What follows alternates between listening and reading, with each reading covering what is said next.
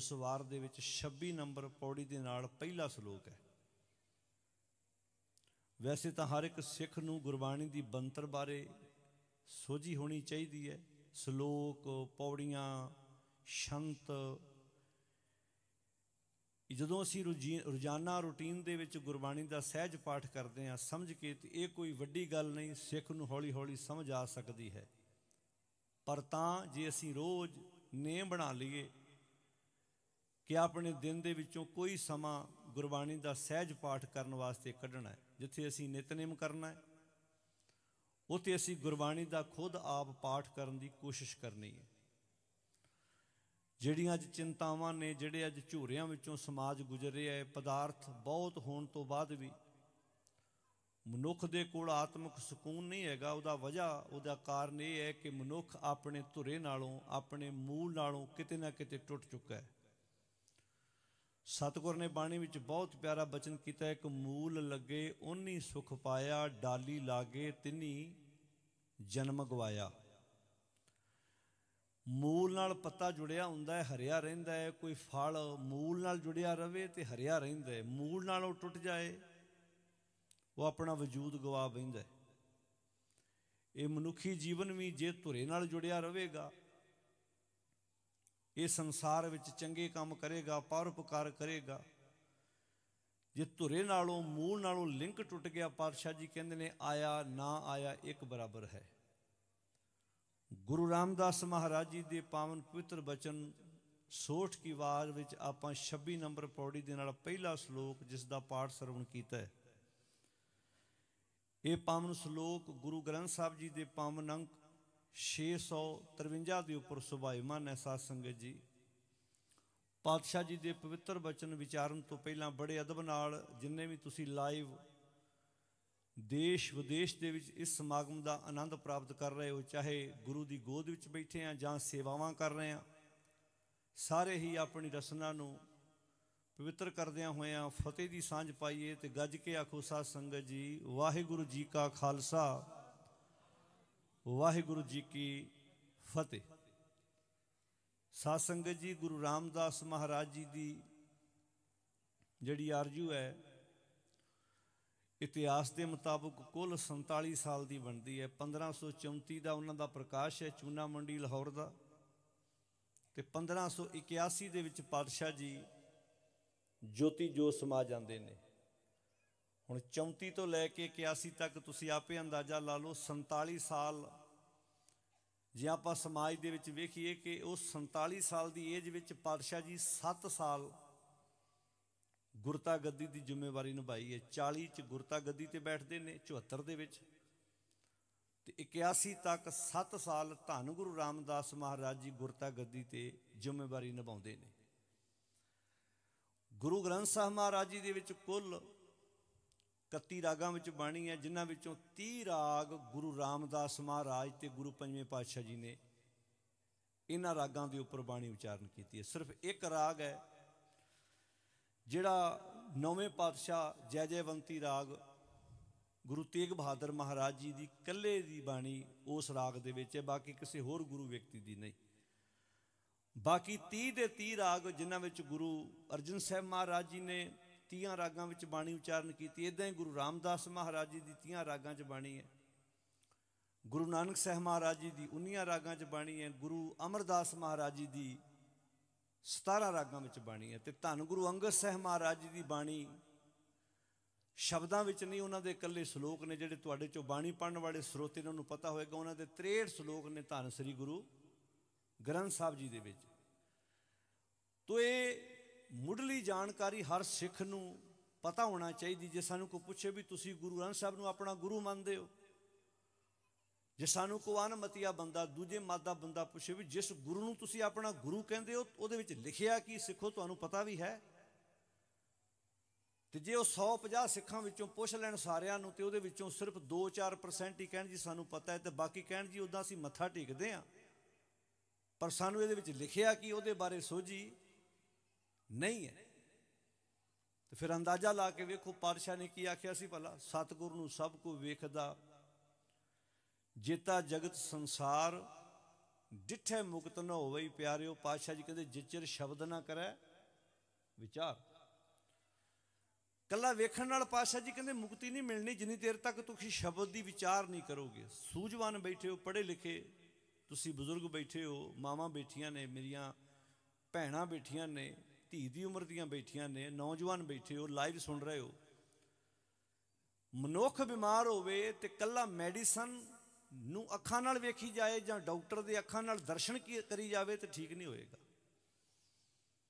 ਜਦੋਂ ਤੱਕ ਉਹ ਦਵਾਈ ਨੂੰ ਲੈ ਕੇ ਨਹੀਂ ਆਉਂਦਾ ਤੇ ਦਵਾਈ ਟਾਈਮ ਨਾਲ ਖਾਂਦਾ ਨਹੀਂ, ਪਰਹੇਜ਼ ਨਹੀਂ ਕਰਦਾ, ਉਦੋਂ ਤੱਕ ਰੋਗ ਕਟਿਆ ਨਹੀਂ ਜਾ ਸਕਦਾ। ਇਦਾਂ ਹੀ ਪਾਸ਼ਾ ਜੀ ਨੇ ਬਾਣੀ ਵਿੱਚ ਬਹੁਤ ਪਿਆਰੇ ਬਚਨ ਕਹੇ ਕਿ ਗੁਰੂ ਨੂੰ ਅੱਖਾਂ ਨਾਲ ਸਾਰੇ ਵੇਖ ਰਹੇ ਨੇ, ਪਰ ਮੁਕਤੀ ਕਿਹਨੂੰ ਮਿਲਣੀ ਹੈ ਜਿਹੜਾ ਗੁਰੂ ਦੇ ਉਪਦੇਸ਼ ਨੂੰ ਆਪਣੀ ਜ਼ਿੰਦਗੀ ਦਾ ਆਧਾਰ ਬਣਾਏਗਾ? ਗੁਰੂ ਦਾ ਸਿੱਖ ਨਾਲ ਸੰਬੰਧ ਹੀ ਵਿਚਾਰਾਂ ਦਾ ਹੈ। ਸੋ ਸਿੱਖ ਸਖਾ ਪੜੋ ਗੁਰੂ ਕੇ ਪਿਆਰਿਓ ਬਾਣੀ ਜਿਹਨਾਂ ਨੂੰ ਆਉਂਦੀ ਜੀ, ਸੋ ਸਿੱਖ ਸਖਾ। ਮਹਾਰਾਜ ਕੌਣ? ਕਹਿੰਦੇ ਬੰਦਪ ਬੰਦਪ ਕਹਿੰਦੇ ਰਿਸ਼ਤੇਦਾਰ ਨੂੰ। ਸੋ ਉਹ ਸਿੱਖ ਸਖਾ ਬੰਦਪ ਹੈ ਭਾਈ। ਮਹਾਰਾਜ ਕੌਣ? ਜੇ ਗੁਰ ਕੈ ਭਾਣੇ ਵਿੱਚ ਆਵੇ। ਜਿਹੜਾ ਆਪਣੇ ਮਨ ਦੀ ਮਤ ਨੂੰ ਤਿਆਗ ਕੇ ਤੇ ਗੁਰੂ ਦੀ ਮਤ ਮੁਤਾਬਕ ਜੀਵਨ ਜਿਉਂਦਾ ਹੈ, ਉਹ ਗੁਰੂ ਦਾ ਸਕਾ ਵੀ ਹੈ, ਉਹ ਗੁਰੂ ਦਾ ਰਿਸ਼ਤੇਦਾਰ ਵੀ ਹੈ, ਉਹ ਗੁਰੂ ਦਾ ਪੁੱਤਰ ਵੀ ਹੈ। ਇੰਜ ਕਹਿ ਲੋ ਵੀ ਗੁਰੂ ਦੀ ਉਹ ਜਾਨ ਹੈ, ਜਿੰਦ ਜਾਨ ਹੈ। ਕੌਣ? ਜਿਹੜਾ ਗੁਰੂ ਦੇ ਭਾਣੇ ਵਿੱਚ ਆਉਂਦਾ ਹੈ। ਸੋ ਸਿੱਖ ਸਖਾ, ਸਾਰੇ ਪੜੋ ਗੁਰੂ ਕੇ ਪਿਆਰੇ, ਸੋ ਸਿੱਖ ਸਖਾ ਬੰਦਪ ਹੈ ਭਾਈ, ਜੇ ਗੁਰ ਕੈ ਭਾਣੈ ਵਿੱਚ ਆਵੇ। ਅੱਛਾ ਮਹਾਰਾਜ, ਜੇ ਕੋਈ ਨਾ ਆਵੇ ਤੇ? ਮੰਨ ਲਓ ਜੇ ਕੋਈ ਗੁਰੂ ਦੇ ਭਾਣੇ ਨੂੰ ਨਾ ਮੰਨੇ ਤੇ। ਲੋ ਵੀ ਬਚਨ ਸੁਣ ਲਓ ਮਹਾਰਾਜ ਕੀ ਕਹਿੰਦੇ ਨੇ। ਆਪਣੇ ਭਾਣੈ ਜੋ ਚੱਲੈ ਭਾਈ। ਅੱਛਾ, ਦੋ ਹੀ ਗੱਲਾਂ ਨੇ, ਜਾਂ ਗੁਰੂ ਦਾ ਭਾਣਾ ਜਾਂ ਆਪਣਾ ਭਾਣਾ। ਜਾਂ ਗੁਰੂ ਦੀ ਮੱਤ ਹੈ ਜਾਂ ਮਨ ਦੀ ਮੱਤ ਹੈ, ਦੋ ਹੀ ਗੱਲਾਂ ਨੇ ਨਾ। ਜਾਂ ਬੰਦਾ ਮਨ ਦੀ ਮੱਤ ਮੁਤਾਬਕ ਕੰਮ ਕਰਦਾ ਜਾਂ ਗੁਰੂ ਦੀ ਮੱਤ ਮੁਤਾਬਕ ਕੰਮ ਕਰਦਾ, ਤੀਜੀ ਤੇ ਮਾਤੀ ਕੋਈ ਨਹੀਂ ਹੈਗੀ। ਦੋ ਹੀ ਰਸਤੇ ਨੇ, ਜਾਂ ਤੇ ਬੰਦਾ ਗੁਰੂ ਦੇ ਰਸਤੇ ਤੁਰੇਗਾ। ਤੇ ਜਾਂ ਗੁਰੂ ਦੇ ਰਸਤੇ ਨੂੰ ਪਿੱਠ ਦੇ ਕੇ ਆਪਣੀ ਮਨ ਮਰਜ਼ੀ ਕਰੇਗਾ। ਅੱਛਾ, ਦੋਵਾਂ ਦੇ ਰਿਜ਼ਲਟ ਦੱਸ ਦਿੱਤੇ ਮਹਾਰਾਜ ਨੇ। ਕਹਿੰਦੇ, ਜਿਹੜਾ ਤੇ ਗੁਰੂ ਦੀ ਮਤ ਮੁਤਾਬਕ ਜ਼ਿੰਦਗੀ ਜਿਉਂਦਾ, ਉਹ ਗੁਰੂ ਦਾ ਸਭ ਕੁਝ ਹੀ ਹੈ। ਜਿਹੜਾ ਗੁਰੂ ਦੀ ਮਤ ਗ੍ਰਹਿਣ ਨਹੀਂ ਕਰਦਾ, ਆਪਣੇ ਭਾਣੇ ਮੁਤਾਬਕ ਤੁਰਦਾ ਆਪਣੀ ਮਨ ਦੀ ਮਰਜ਼ੀ ਕਰਦਾ ਤੇ ਅੱਜ ਜਿੰਨਾ ਵੀ ਸੰਸਾਰ ਦੁਖੀ ਹੈ, ਗੁਰੂ ਦੀ ਮੱਤ ਉੱਤੇ ਤੁਰਿਆ ਮਨੁੱਖ ਨੂੰ ਜ਼ਿੰਦਗੀ 'ਚ ਦੁੱਖ ਪਰੇਸ਼ਾਨੀਆਂ ਨਹੀਂ ਆਉਂਦੀਆਂ। ਮਨੁੱਖ ਸਗੋਂ ਦੁੱਖਾਂ ਪਰੇਸ਼ਾਨੀਆਂ ਦਾ ਡਟ ਕੇ ਮੁਕਾਬਲਾ ਕਰਦਾ ਗੁਰੂ ਦੀ ਮੱਤ ਉੱਤੇ ਤੁਰਿਆ ਤਾਂ ਮਨੁੱਖ ਜੀਵਨ ਆਨੰਦ ਨਾਲ ਭਰਦਾ ਜਿਹੜਾ ਮਨੁੱਖ ਗੁਰੂ ਦੀ ਮੱਤ ਨੂੰ ਛੱਡ ਕੇ ਦੂਜੇ ਰਾਹ ਤੇ ਤੁਰਦਾ ਪਰੇਸ਼ਾਨੀਆਂ ਨੇ, ਟੈਨਸ਼ਨਾਂ ਨੇ, ਚਿੰਤਾਵਾਂ ਨੇ, ਝੂਰੇ ਨੇ। ਅੱਜ ਸੰਸਾਰ ਇਸੇ ਕਰਕੇ ਦੁਖੀ ਹੈ, ਸਭ ਕੁਝ ਹੋਣ ਤੋਂ ਬਾਅਦ। ਤੋ ਮਹਾਰਾਜ ਕਹਿੰਦੇ, ਆਪਣੇ ਪਾਣੈ ਜੋ ਚੱਲੇ ਭਾਈ। ਮਹਾਰਾਜ ਕੀ ਕਹਿੰਦੇ ਨੇ, ਵਿਛੜ ਚੋਟਾਂ ਖਾਵੇ, ਉਹ ਚੋਟਾਂ ਖਾਂਦਾ ਤੇ ਅੱਜ ਸੰਸਾਰ ਚੋਟਾਂ ਖਾ ਰਿਹਾ ਦੁਖੀ ਨੇ।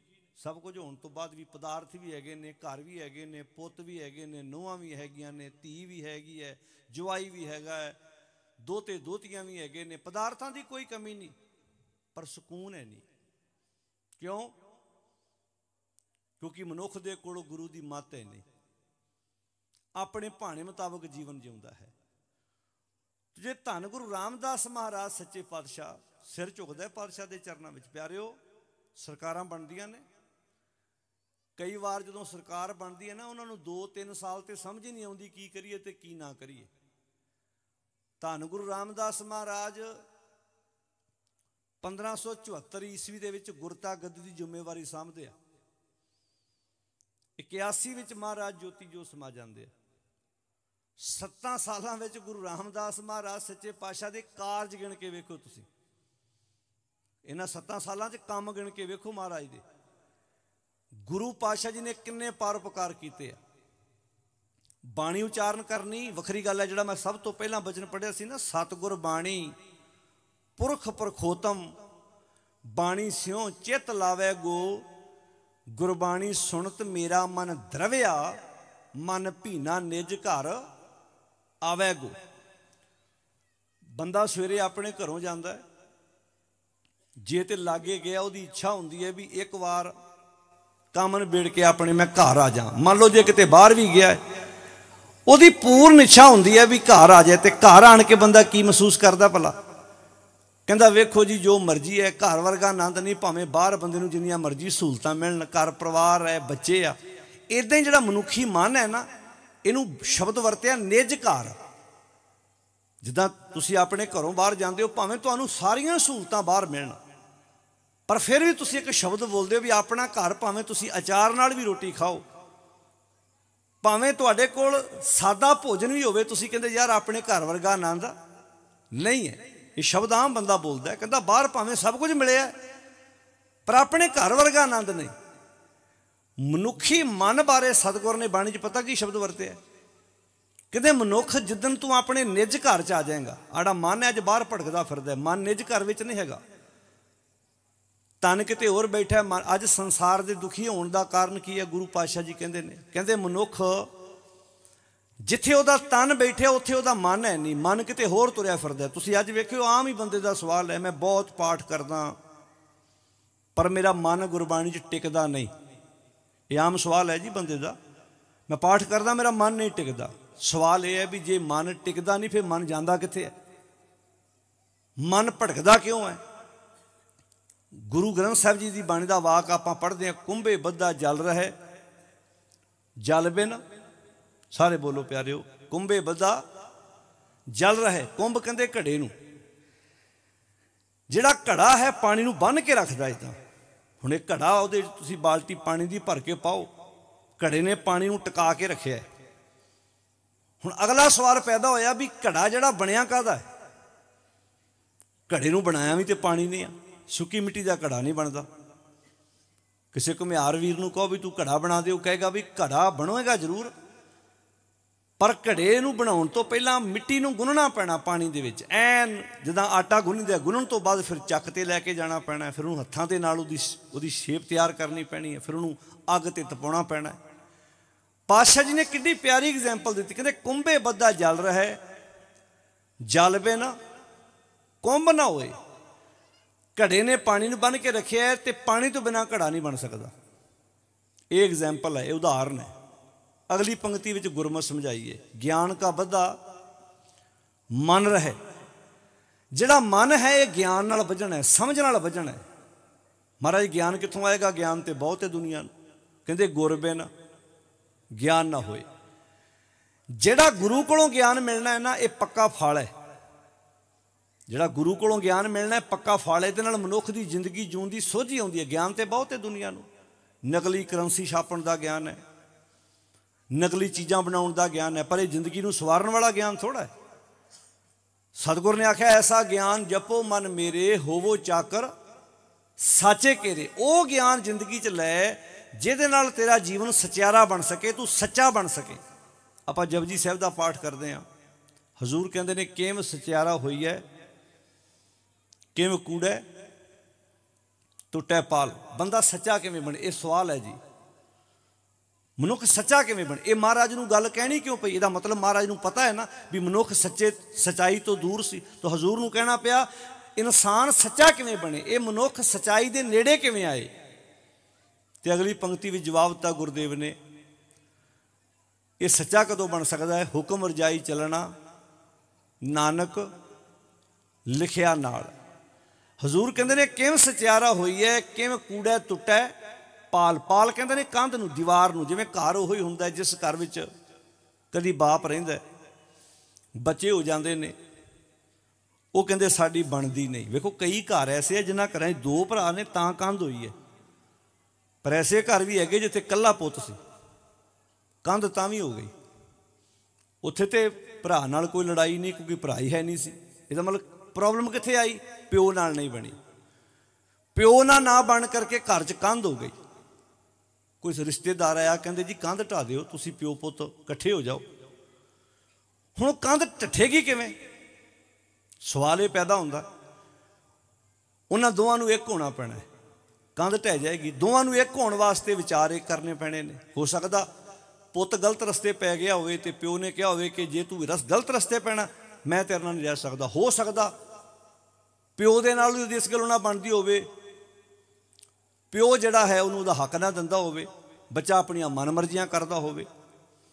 ਆਪਣੀਆਂ ਮਨਮਰਜ਼ੀਆਂ ਕਰਨ ਕਰਕੇ ਘਰ ਦੇ ਵਿੱਚ ਕੰਧ ਹੋ ਗਈ, ਸਮਾਂ ਪਾ ਕੇ ਲੋਕਾਂ ਨੇ ਇਕੱਠਿਆਂ ਕਰਤਾ। ਇੱਕ ਕੰਪਰੋਮਾਈਜ਼ ਹੋ ਗਿਆ, ਜਿਹਨੂੰ ਆਪਾਂ ਸਮਝੌਤਾ ਕਹਿ ਦਿੰਦੇ ਤੇ ਬਹੁਤ ਵਾਰੀ ਪਰਿਵਾਰਾਂ 'ਚ ਹੁੰਦਾ ਇੰਜ ਹੀ ਹੈ। ਜਿੱਥੇ ਤੁਸੀਂ ਆਪਣੇ ਮਨ ਦੇ ਵੇਗ ਨੂੰ, ਮਨ ਦੇ ਵਿਚਾਰਾਂ ਨੂੰ ਮਾਰ ਦਿੰਦੇ ਹੋ, ਮੰਨ ਲਓ ਪਰਿਵਾਰ 'ਚ ਤੁਹਾਡੇ ਇੱਕ ਜੀ ਨਸ਼ਾ ਕਰਦਾ ਬਾਕੀ ਜੀ ਉਹਦੇ ਨਾਲ ਸਹਿਮਤ ਨਹੀਂ ਹੈਗੇ। ਪਰ ਤੁਸੀਂ ਘਰੋਂ ਥੋੜਾ ਕੱਢ ਦਿੰਦੇ ਹੋ। ਤੁਸੀਂ ਆਪਣੇ ਮਨ ਨਾਲ ਸਮਝੌਤਾ ਕਰਨ ਦੇ ਕੋਈ ਗੱਲ ਨਹੀਂ, ਘਰ 'ਚ ਰਹੀ ਜਾਵੇ। ਪਰ ਗੁਰੂ ਨਾਲ ਇੰਜ ਨਹੀਂ ਹੋਣਾ। ਇੱਥੇ ਮਨੁੱਖ ਨੂੰ ਆਪਣੇ ਆਪ ਨੂੰ ਬਦਲਣਾ ਪੈਣਾ, ਤਾਂ ਗੁਰੂ ਦੇ ਨਾਲ ਇੱਕ ਮਿਕੁਤਾ ਹੋ ਜਾ ਸਕਦੀ ਹੈ। ਆਪਾਂ ਆਸਾਗੀ ਰਾਗ ਵਿੱਚ ਗੁਰੂ ਗ੍ਰੰਥ ਸਾਹਿਬ ਦੇ ਵਿੱਚ ਭਗਤ ਕਬੀਰ ਜੀ ਦਾ ਇੱਕ ਵਾਕ ਪੜ੍ਹਦੇ ਆਂ ਹਉ ਪੂਤ ਤੇਰਾ, ਤੂੰ ਬਾਪ ਮੇਰਾ ਇੱਕ ਹੈ ਠਾਹਰ ਦੋਹਾਂ ਬਸੇਰਾ। ਅਸੀਂ ਤੁਹਾਡੇ ਪੋਤਾਂ, ਤੁਸੀਂ ਸਾਡੇ ਪਿਓ। ਅੱਜ ਸਮਾਂ ਐਸਾ ਬਣ ਗਿਆ ਵੀ ਇੱਕੇ ਘਰ 'ਚ ਅਸੀਂ ਦੋਵੇਂ ਰਹਿਣ ਲੱਗ ਪਏ। ਹਉ ਪੁੱਤ ਤੇਰਾ, ਤੂੰ ਬਾਪ ਮੇਰਾ। ਇੱਕ ਠਾਹਰ ਠਾਹਰ ਕਹਿੰਦੇ ਨੇ ਘਰ ਨੂੰ। ਹੁਣ ਇੱਕੋ ਘਰ ਦੇ ਵਿੱਚ ਆਪਾਂ ਦੋਵੇਂ ਰਹਿਣ ਲੱਗ ਪਏ ਆ ਕਿਵੇਂ ਰਹਿਣ ਲੱਗ ਪਏ ਆ ਇਹ ਗੱਲ ਬਾਹਰ ਦੀ ਨਹੀਂ ਹੋ ਰਹੀ, ਇਹ ਗੱਲ ਬੰਦੇ ਦੇ ਅੰਦਰ ਦੀ ਹੋ ਰਹੀ ਹੈ। ਆਪਾਂ ਕਹਿੰਦੇ ਰੱਬ ਸਾਰਿਆਂ ਦੇ ਅੰਦਰ ਰਹਿੰਦਾ ਸਭੇ ਘਟ ਰਾਮ ਬੋਲੇ, ਰਾਮਾ ਬੋਲੇ, ਰਾਮ ਬਿਨਾ ਕੋ ਬੋਲੇ ਰੇ ਜੇ ਪਰਮੇਸ਼ਰ ਸਾਰਿਆਂ ਅੰਦਰ ਰਹਿੰਦਾ ਤੇ ਸਵਾਲ ਇਹ ਪੈਦਾ ਹੁੰਦਾ ਵੀ ਪਰਮੇਸ਼ਰ ਜੇ ਬੰਦੇ ਦੇ ਅੰਦਰ ਬੈਠਾ ਹੈ ਬੰਦਾ ਗਲਤ ਕੰਮ ਕਰਦਾ ਕਿਉਂ ਹੈ? ਇਹ ਕੁਐਸਚਨ ਹੈ। ਬੰਦੇ ਦੇ ਅੰਦਰ ਰੱਬ ਬੈਠਾ ਬੰਦਾ ਗਲਤ ਸਵਾਲ ਜਿੱਦਣ ਮਨੁੱਖ ਨੇ ਆਪਣੇ ਪਿਓ ਨੂੰ ਪੁੱਛ ਕੇ ਤੁਰ ਲੱਗ ਪਿਆ ਨਾ ਉਦੋਂ ਗਲਤ ਰਸਤੇ ਨਹੀਂ ਤੁਰੇਗਾ ਅਜੇ ਇਹਨੇ ਪਿਓ ਨੂੰ ਇੱਕ ਬੰਨੇ ਬਿਠਾਇਆ ਹੋਇਆ ਅੱਖਾਂ ਆਪਣੀਆਂ ਮਨਮਰਜ਼ੀਆਂ ਕਰਦੀਆਂ ਨੇ, ਕੰਨ ਆਪਣੀ ਮਨਮਰਜ਼ੀ ਨਾਲ ਸੁਣਦੇ ਨੇ, ਜ਼ੁਬਾਨ ਆਪਣੀ ਮਨਮਰਜ਼ੀ ਨਾਲ ਬੋਲਦੀ ਹੈ।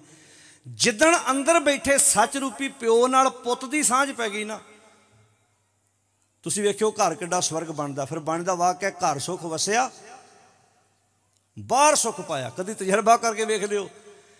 ਜਿਹਦੇ ਇੱਥੇ ਅੰਦਰ ਸੁਖ ਹੈ ਨਾ, ਉਹਦੇ ਬਾਹਰ ਵੀ ਸੁਖ ਹੋਏਗਾ। ਜਿਹੜਾ ਬੰਦਾ ਅੰਦਰੋਂ ਖੁਸ਼ ਹੁੰਦਾ ਨਾ, ਉਹ ਸਦਾ ਹੀ ਖੁਸ਼ ਰਹਿੰਦਾ, ਸਦਾ ਹੀ ਖਿੜਿਆ ਰਹਿੰਦਾ। ਜਿਹੜਾ ਅੰਦਰੋਂ ਬੰਦਾ ਸੜਿਆ ਹੋਏਗਾ ਨਾ, ਉਹ ਕਦੀ ਖੁਸ਼ ਨਹੀਂ ਹੋ ਸਕਦਾ, ਭਾਵੇਂ ਉਹਨੂੰ ਜਿੱਥੇ ਮਰਜ਼ੀ ਲੈ ਜਾਓ। ਸਤਿਗੁਰ ਨੇ ਤਾਂ ਹੀ ਤੇ ਬਾਣੀ ਚਾਕਿਆ ਸੀ, ਨਾਨਕ ਤਿੰਨਾ ਬਸੰਤ ਹੈ ਜਿਨ ਘਰ ਵਸਿਆ ਕੰਤ ਜਿਨ੍ਹਾਂ ਦੇ ਅੰਦਰ ਸੱਚ ਵਸਦਾ ਹੈ, ਨਾ ਜਿਹੜੇ ਸੱਚ ਨਾਲ ਇੱਕਮਿਕ ਹੋ ਗਏ। ਮਹਾਰਾਜ ਕਹਿੰਦੇ, ਉਹਨਾਂ ਵਾਸਤੇ ਸਦਾ ਹੀ ਬਸੰਤ ਹੈ। ਬਸੰਤ ਰੁੱਤ ਆਉਂਦੀ ਹੈ, ਸਰਦੀ ਲੰਘਣ ਤੋਂ ਬਾਅਦ। ਪਰ ਪਾਰਸ਼ਾ ਜੀ ਕਹਿੰਦੇ, ਜਿਹੜਾ ਸੱਚ ਨਾਲ ਜੁੜ ਗਿਆ, ਉਹਦੇ ਅੰਦਰ ਬਸੰਤ ਵਰਗੀ ਰੁੱਤ ਸਦਾ ਹੀ ਬਣੀ ਰਹਿੰਦੀ ਹੈ। ਸਦਾ ਹੀ ਉਹਦੇ ਅੰਦਰ ਬਨਸਪਤੀ, ਸਦਾ ਹੀ ਹਰਿਆਵਲ ਰਹਿੰਦੀ ਹੈ। ਸਾਤ ਧਰਤੀ ਪਈ ਹਰਿਆਵਲੀ, ਜਿੱਥੇ ਮੇਰਾ ਜਿੱਥੇ ਮੇਰਾ ਸਤਗੁਰ ਬੈਠਾ ਹੈ ਹੁਣ ਇੱਥੇ ਗੱਲ ਬਾਹਰ ਦੀ ਹੋ ਰਹੀ ਹੈ ਪਿਆਰਿਓ। ਇੱਥੇ ਗੱਲ ਬੰਦੇ ਦੇ ਅੰਦਰ ਦੀ ਹੋ ਰਹੀ ਹੈ। ਜਿਸ ਹਿਰਦੇ ਰੂਪੀ ਧਰਤੀ 'ਚ ਗੁਰੂ ਦੇ ਸ਼ਬਦ ਦਾ ਪ੍ਰਕਾਸ਼ ਹੋ ਗਿਆ, ਉਹ ਹਿਰਦੇ ਦੀ ਧਰਤੀ ਹਰੀ ਹੋ ਜਾਏਗੀ ਤੇ ਹਰਿਆਵਲ ਦਾ ਸਬੰਧ ਬੜਾ ਡੂੰਘਾ ਹੁੰਦਾ ਤੁਸੀਂ ਵੇਖੋ, ਹਰਿਆਵਲ ਕਿੰਨੀ ਚੰਗੀ ਲੱਗਦੀ ਆ, ਪਰ ਨੂੰ ਦਰਖਤ ਹਰੇ ਹੋਣ, ਘਾਹ ਹਰਿਆ ਹੋਵੇ, ਤੁਹਾਡੀਆਂ ਅੱਖਾਂ ਨੂੰ ਕਿੰਨਾ ਚੰਗਾ ਲੱਗਦਾ ਪੌਦੇ, ਫੁੱਲ, ਬੂਟੇ, ਘਰਾਂ ਵਿੱਚ ਹੁਣ ਕੁਝ ਚੀਜ਼ਾਂ ਐਸੀਆਂ ਆਪਾਂ ਆਪਣੇ ਘਰ ਦੇ ਵਿੱਚ ਕੋਈ ਫਲਦਾਰ ਪੌਦਾ ਲਾਉਨੇ ਆ ਨਾ ਉਹ ਤੋਂ ਤੁਹਾਨੂੰ ਅੰਬ ਖਾਣ ਨੂੰ ਮਿਲਣਗੇ, ਜਾਮਨ ਮਿਲਣਗੇ, ਕੋਈ ਅਮਰੂਦਾਂ ਦਾ ਬੂਟਾ ਲਾਇਆ ਜੇ 2 ਮਿੰਟ ਲਈ ਸੋਚੀਏ, ਜਿਹੜੇ ਫੁੱਲ ਲਾਏ ਨੇ, ਉਹਨਾਂ ਵਿੱਚੋਂ ਆਪਾਂ ਨੂੰ ਖਾਣ ਲਈ ਥੋੜਾ ਕੁਝ ਮਿਲਦਾ ਪਰ ਬੰਦਾ ਕਿਉਂ ਲਾਉਂਦਾ ਕਹਿੰਦਾ ਅੱਖਾਂ ਨੂੰ ਚੰਗਾ ਲੱਗਦਾ ਘਰ ਦਾ ਮਾਹੌਲ ਵਧੀਆ ਲੱਗਦਾ ਬਹੁਤ ਵਾਰੀ ਘਰਾਂ 'ਚ ਆਪਾਂ ਸੋਹਣਾ ਸੋਹਣਾ ਘਾਹ ਲਾਉਨੇ ਆ ਫੁੱਲ ਬੂਟੇ ਲਿਆ ਕੇ ਮਹਿੰਗੇ ਮਹਿੰਗੇ ਆਪਾਂ ਗਮਲਿਆਂ ਦੇ ਵਿੱਚ ਸਜਾਉਨੇ ਕਾਦੇ ਵਾਸਤੇ? ਸਾਡੀਆਂ ਅੱਖਾਂ ਨੂੰ ਚੰਗਾ ਲੱਗਦਾ ਸਾਨੂੰ ਹਰਿਆਵਲ ਪਸੰਦ ਹੈ। ਜੇ ਬਾਹਰ ਦੀ ਹਰਿਆਵਲ ਤੁਹਾਡੀਆਂ ਅੱਖਾਂ ਨੂੰ ਤੁਹਾਡੇ ਹਿਰਦੇ ਨੂੰ ਸਕੂਨ ਦਿੰਦੀ ਹੈ ਪਾਸ਼ਾ ਜੀ ਕਹਿੰਦੇ ਜਿੱਦਨ ਤੁਹਾਡੇ ਅੰਦਰ ਸ਼ਬਦ ਦਾ ਵਾਸਾ ਹੋ ਗਿਆ ਨਾ, ਅੰਦਰ ਗੁਰੂ ਦੀ ਸਿੱਖਿਆ ਟਿਕ ਗਈ। ਮਹਾਰਾਜ ਕਹਿੰਦੇ ਸਾਡਾ ਅੰਦਰ ਵੀ ਹਰਿਆ ਹੋ ਜਾਣਾ। ਆਪਾਂ ਬਸੰਤ ਕੀ ਵਾਰ ਚ ਪੜ੍ਹਦੇ ਆ ਨਾ, ਹਰ ਕਾ ਨਾਮ ਧਿਆਏ ਕਹਿ ਹੋ, ਸਾਰੇ ਬੋਲੋ, ਹਰ ਕਾ ਨਾਮ ਹੋ। ਹੁਣ ਬਾਣੀ 'ਚ ਲਿਖਿਆ ਵੀ ਜਿਹੜਾ ਰੱਬ ਦਾ ਨਾਮ ਤੇ ਆਉਂਦਾ, ਉਹ ਹਰਿਆ ਹੋ ਜਾਂਦਾ। ਹਰੇ ਹੋਣ ਦਾ ਅਰਥ ਉਹਦਾ ਰੰਗ ਹਰਿਆ ਹੋ ਜਾਂਦਾ ਇਹਦਾ ਕੀ ਮਤਲਬ ਹੈ ਜੀ? ਜੇ ਸਾਨੂੰ ਕੋ ਪੁੱਛ ਲਵੇ, ਇਹਦੇ ਮੀਨਿੰਗ ਪੁੱਛ ਲਵੇ ਕਿ ਬਾਣੀ 'ਚ ਲਿਖਿਆ ਹਰ ਕਾ ਨਾਮ ਧਿਆਏ ਕੈ, ਹਰੀ ਦਾ ਨਾਮ ਧਿਆਉਣ ਨਾਲ ਹੋ ਹਰਿਆ ਭਾਈ, ਹਰੇ ਹੋਣ ਦਾ ਭਾਵ ਉਹਦਾ ਰੰਗ ਹਰਿਆ ਹੋ ਜਾਂਦਾ ਨਹੀਂ, ਉਹਦਾ ਮਤਲਬ ਹੈ ਹਰੀ ਚੀਜ਼ ਉਹ ਹੁੰਦੀ ਹੈ ਜਿਹੜੀ ਆਪਣੇ ਧੁਰੇ ਨਾਲ ਜੁੜੀ ਰਵੇ। ਦਰਖਤ ਕਿਹੜਾ ਹਰਿਆ ਹੁੰਦਾ ਜਿਹਦੀਆਂ ਜੜਾਂ ਜ਼ਮੀਨ ਨਾਲ ਜੁੜੀਆਂ ਨੇ। ਤੇ ਹਰੀ ਚੀਜ਼ ਵਿੱਚ ਇੱਕ ਬਹੁਤ ਕਮਾਲ ਦੀ ਗੱਲ ਹੈ। ਤੁਸੀਂ ਸਾਰੇ ਪੜ੍ਹੇ ਲਿਖੇ ਬਜ਼ੁਰਗ ਬੈਠੇ ਹੋ, ਨੌਜਵਾਨ ਬੈਠੇ ਹੋ, ਹੁਣ ਤਾਂ ਭਾਵੇਂ ਉਹ ਸਮਾਂ ਬਦਲ ਗਿਆ। ਅੱਜ ਤੋਂ ਕੁਝ ਸਮਾਂ ਪਹਿਲਾਂ ਸੀ, ਆਪਣੇ ਖੇਤਾਂ 'ਚ ਤੂਤਾਂ ਦੇ ਦਰਖਤ ਆਮ ਹੁੰਦੇ ਸੀ। ਘਰਾਂ 'ਚ ਵੀ ਹੁੰਦੇ ਸੀ, ਖੇਤਾਂ 'ਚ ਵੀ ਹੁੰਦੇ ਸੀ। ਹੁਣ ਹੌਲੀ ਹੌਲੀ ਜਿਉਂ-ਜਿਉਂ ਮਸ਼ੀਨੀ ਯੁੱਗ ਆ ਗਿਆ। ਅਸੀਂ ਦਰਖਤ ਕੱਟੇ ਬਹੁਤ ਨੇ, ਪਰ ਉਹਨੇ ਲਾਏ ਨੇ।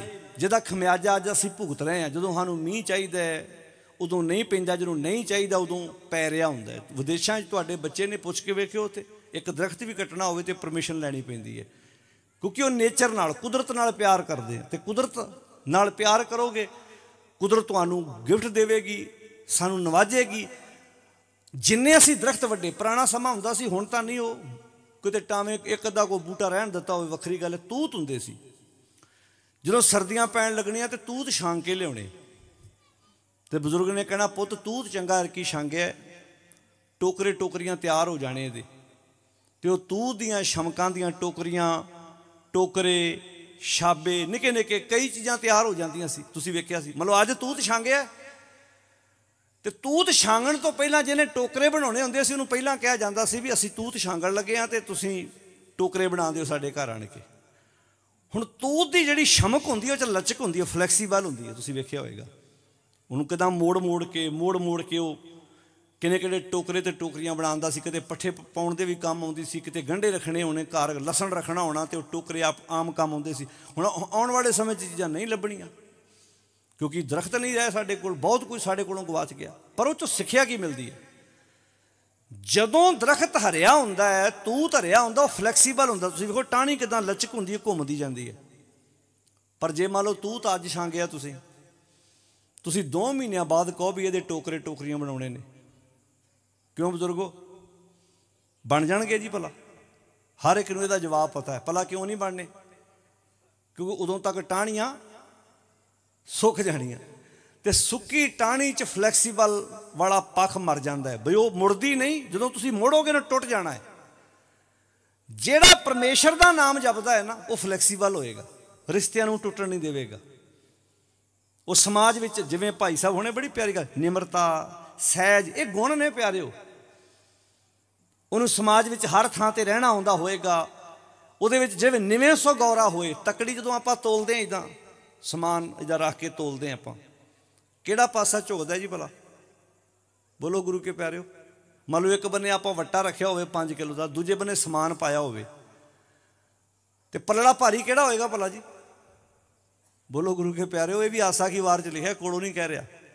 ਮੰਨ ਲਓ 5 ਕਿਲੋ ਦਾ ਵੱਟਾ ਪਾਇਆ, ਤੁਸੀਂ ਸਮਾਨ ਤੋਲਣ ਲੱਗੇ ਜੇ। ਦੋਵਾਂ 'ਚੋਂ ਪੱਲੜਾ ਭਾਰੀ ਕਿਹੜਾ ਹੋਏਗਾ ਜੀ? ਇਹਦਾ ਜਵਾਬ ਸਾਰਿਆਂ ਨੂੰ ਪਤਾ ਹੈ। ਜਿੱਧਰ ਸਮਾਨ, ਜੇ ਸਮਾਨ ਵੱਧ ਹੋਏਗਾ, ਮੰਨ ਲਓ 5.5 ਕਿਲੋ ਹੋਏਗਾ ਤੇ ਇਧਰ ਝੁਕ ਜਾਏਗਾ, ਜੇ 4.5 ਕਿਲੋ ਹੋਏਗਾ ਤੇ ਵਟੇ ਵਾਲਾ ਪਾਸਾ ਝੁਕ ਜਾਏਗਾ। ਬਸ ਆ ਚੇਤਾ ਰੱਖਿਓ।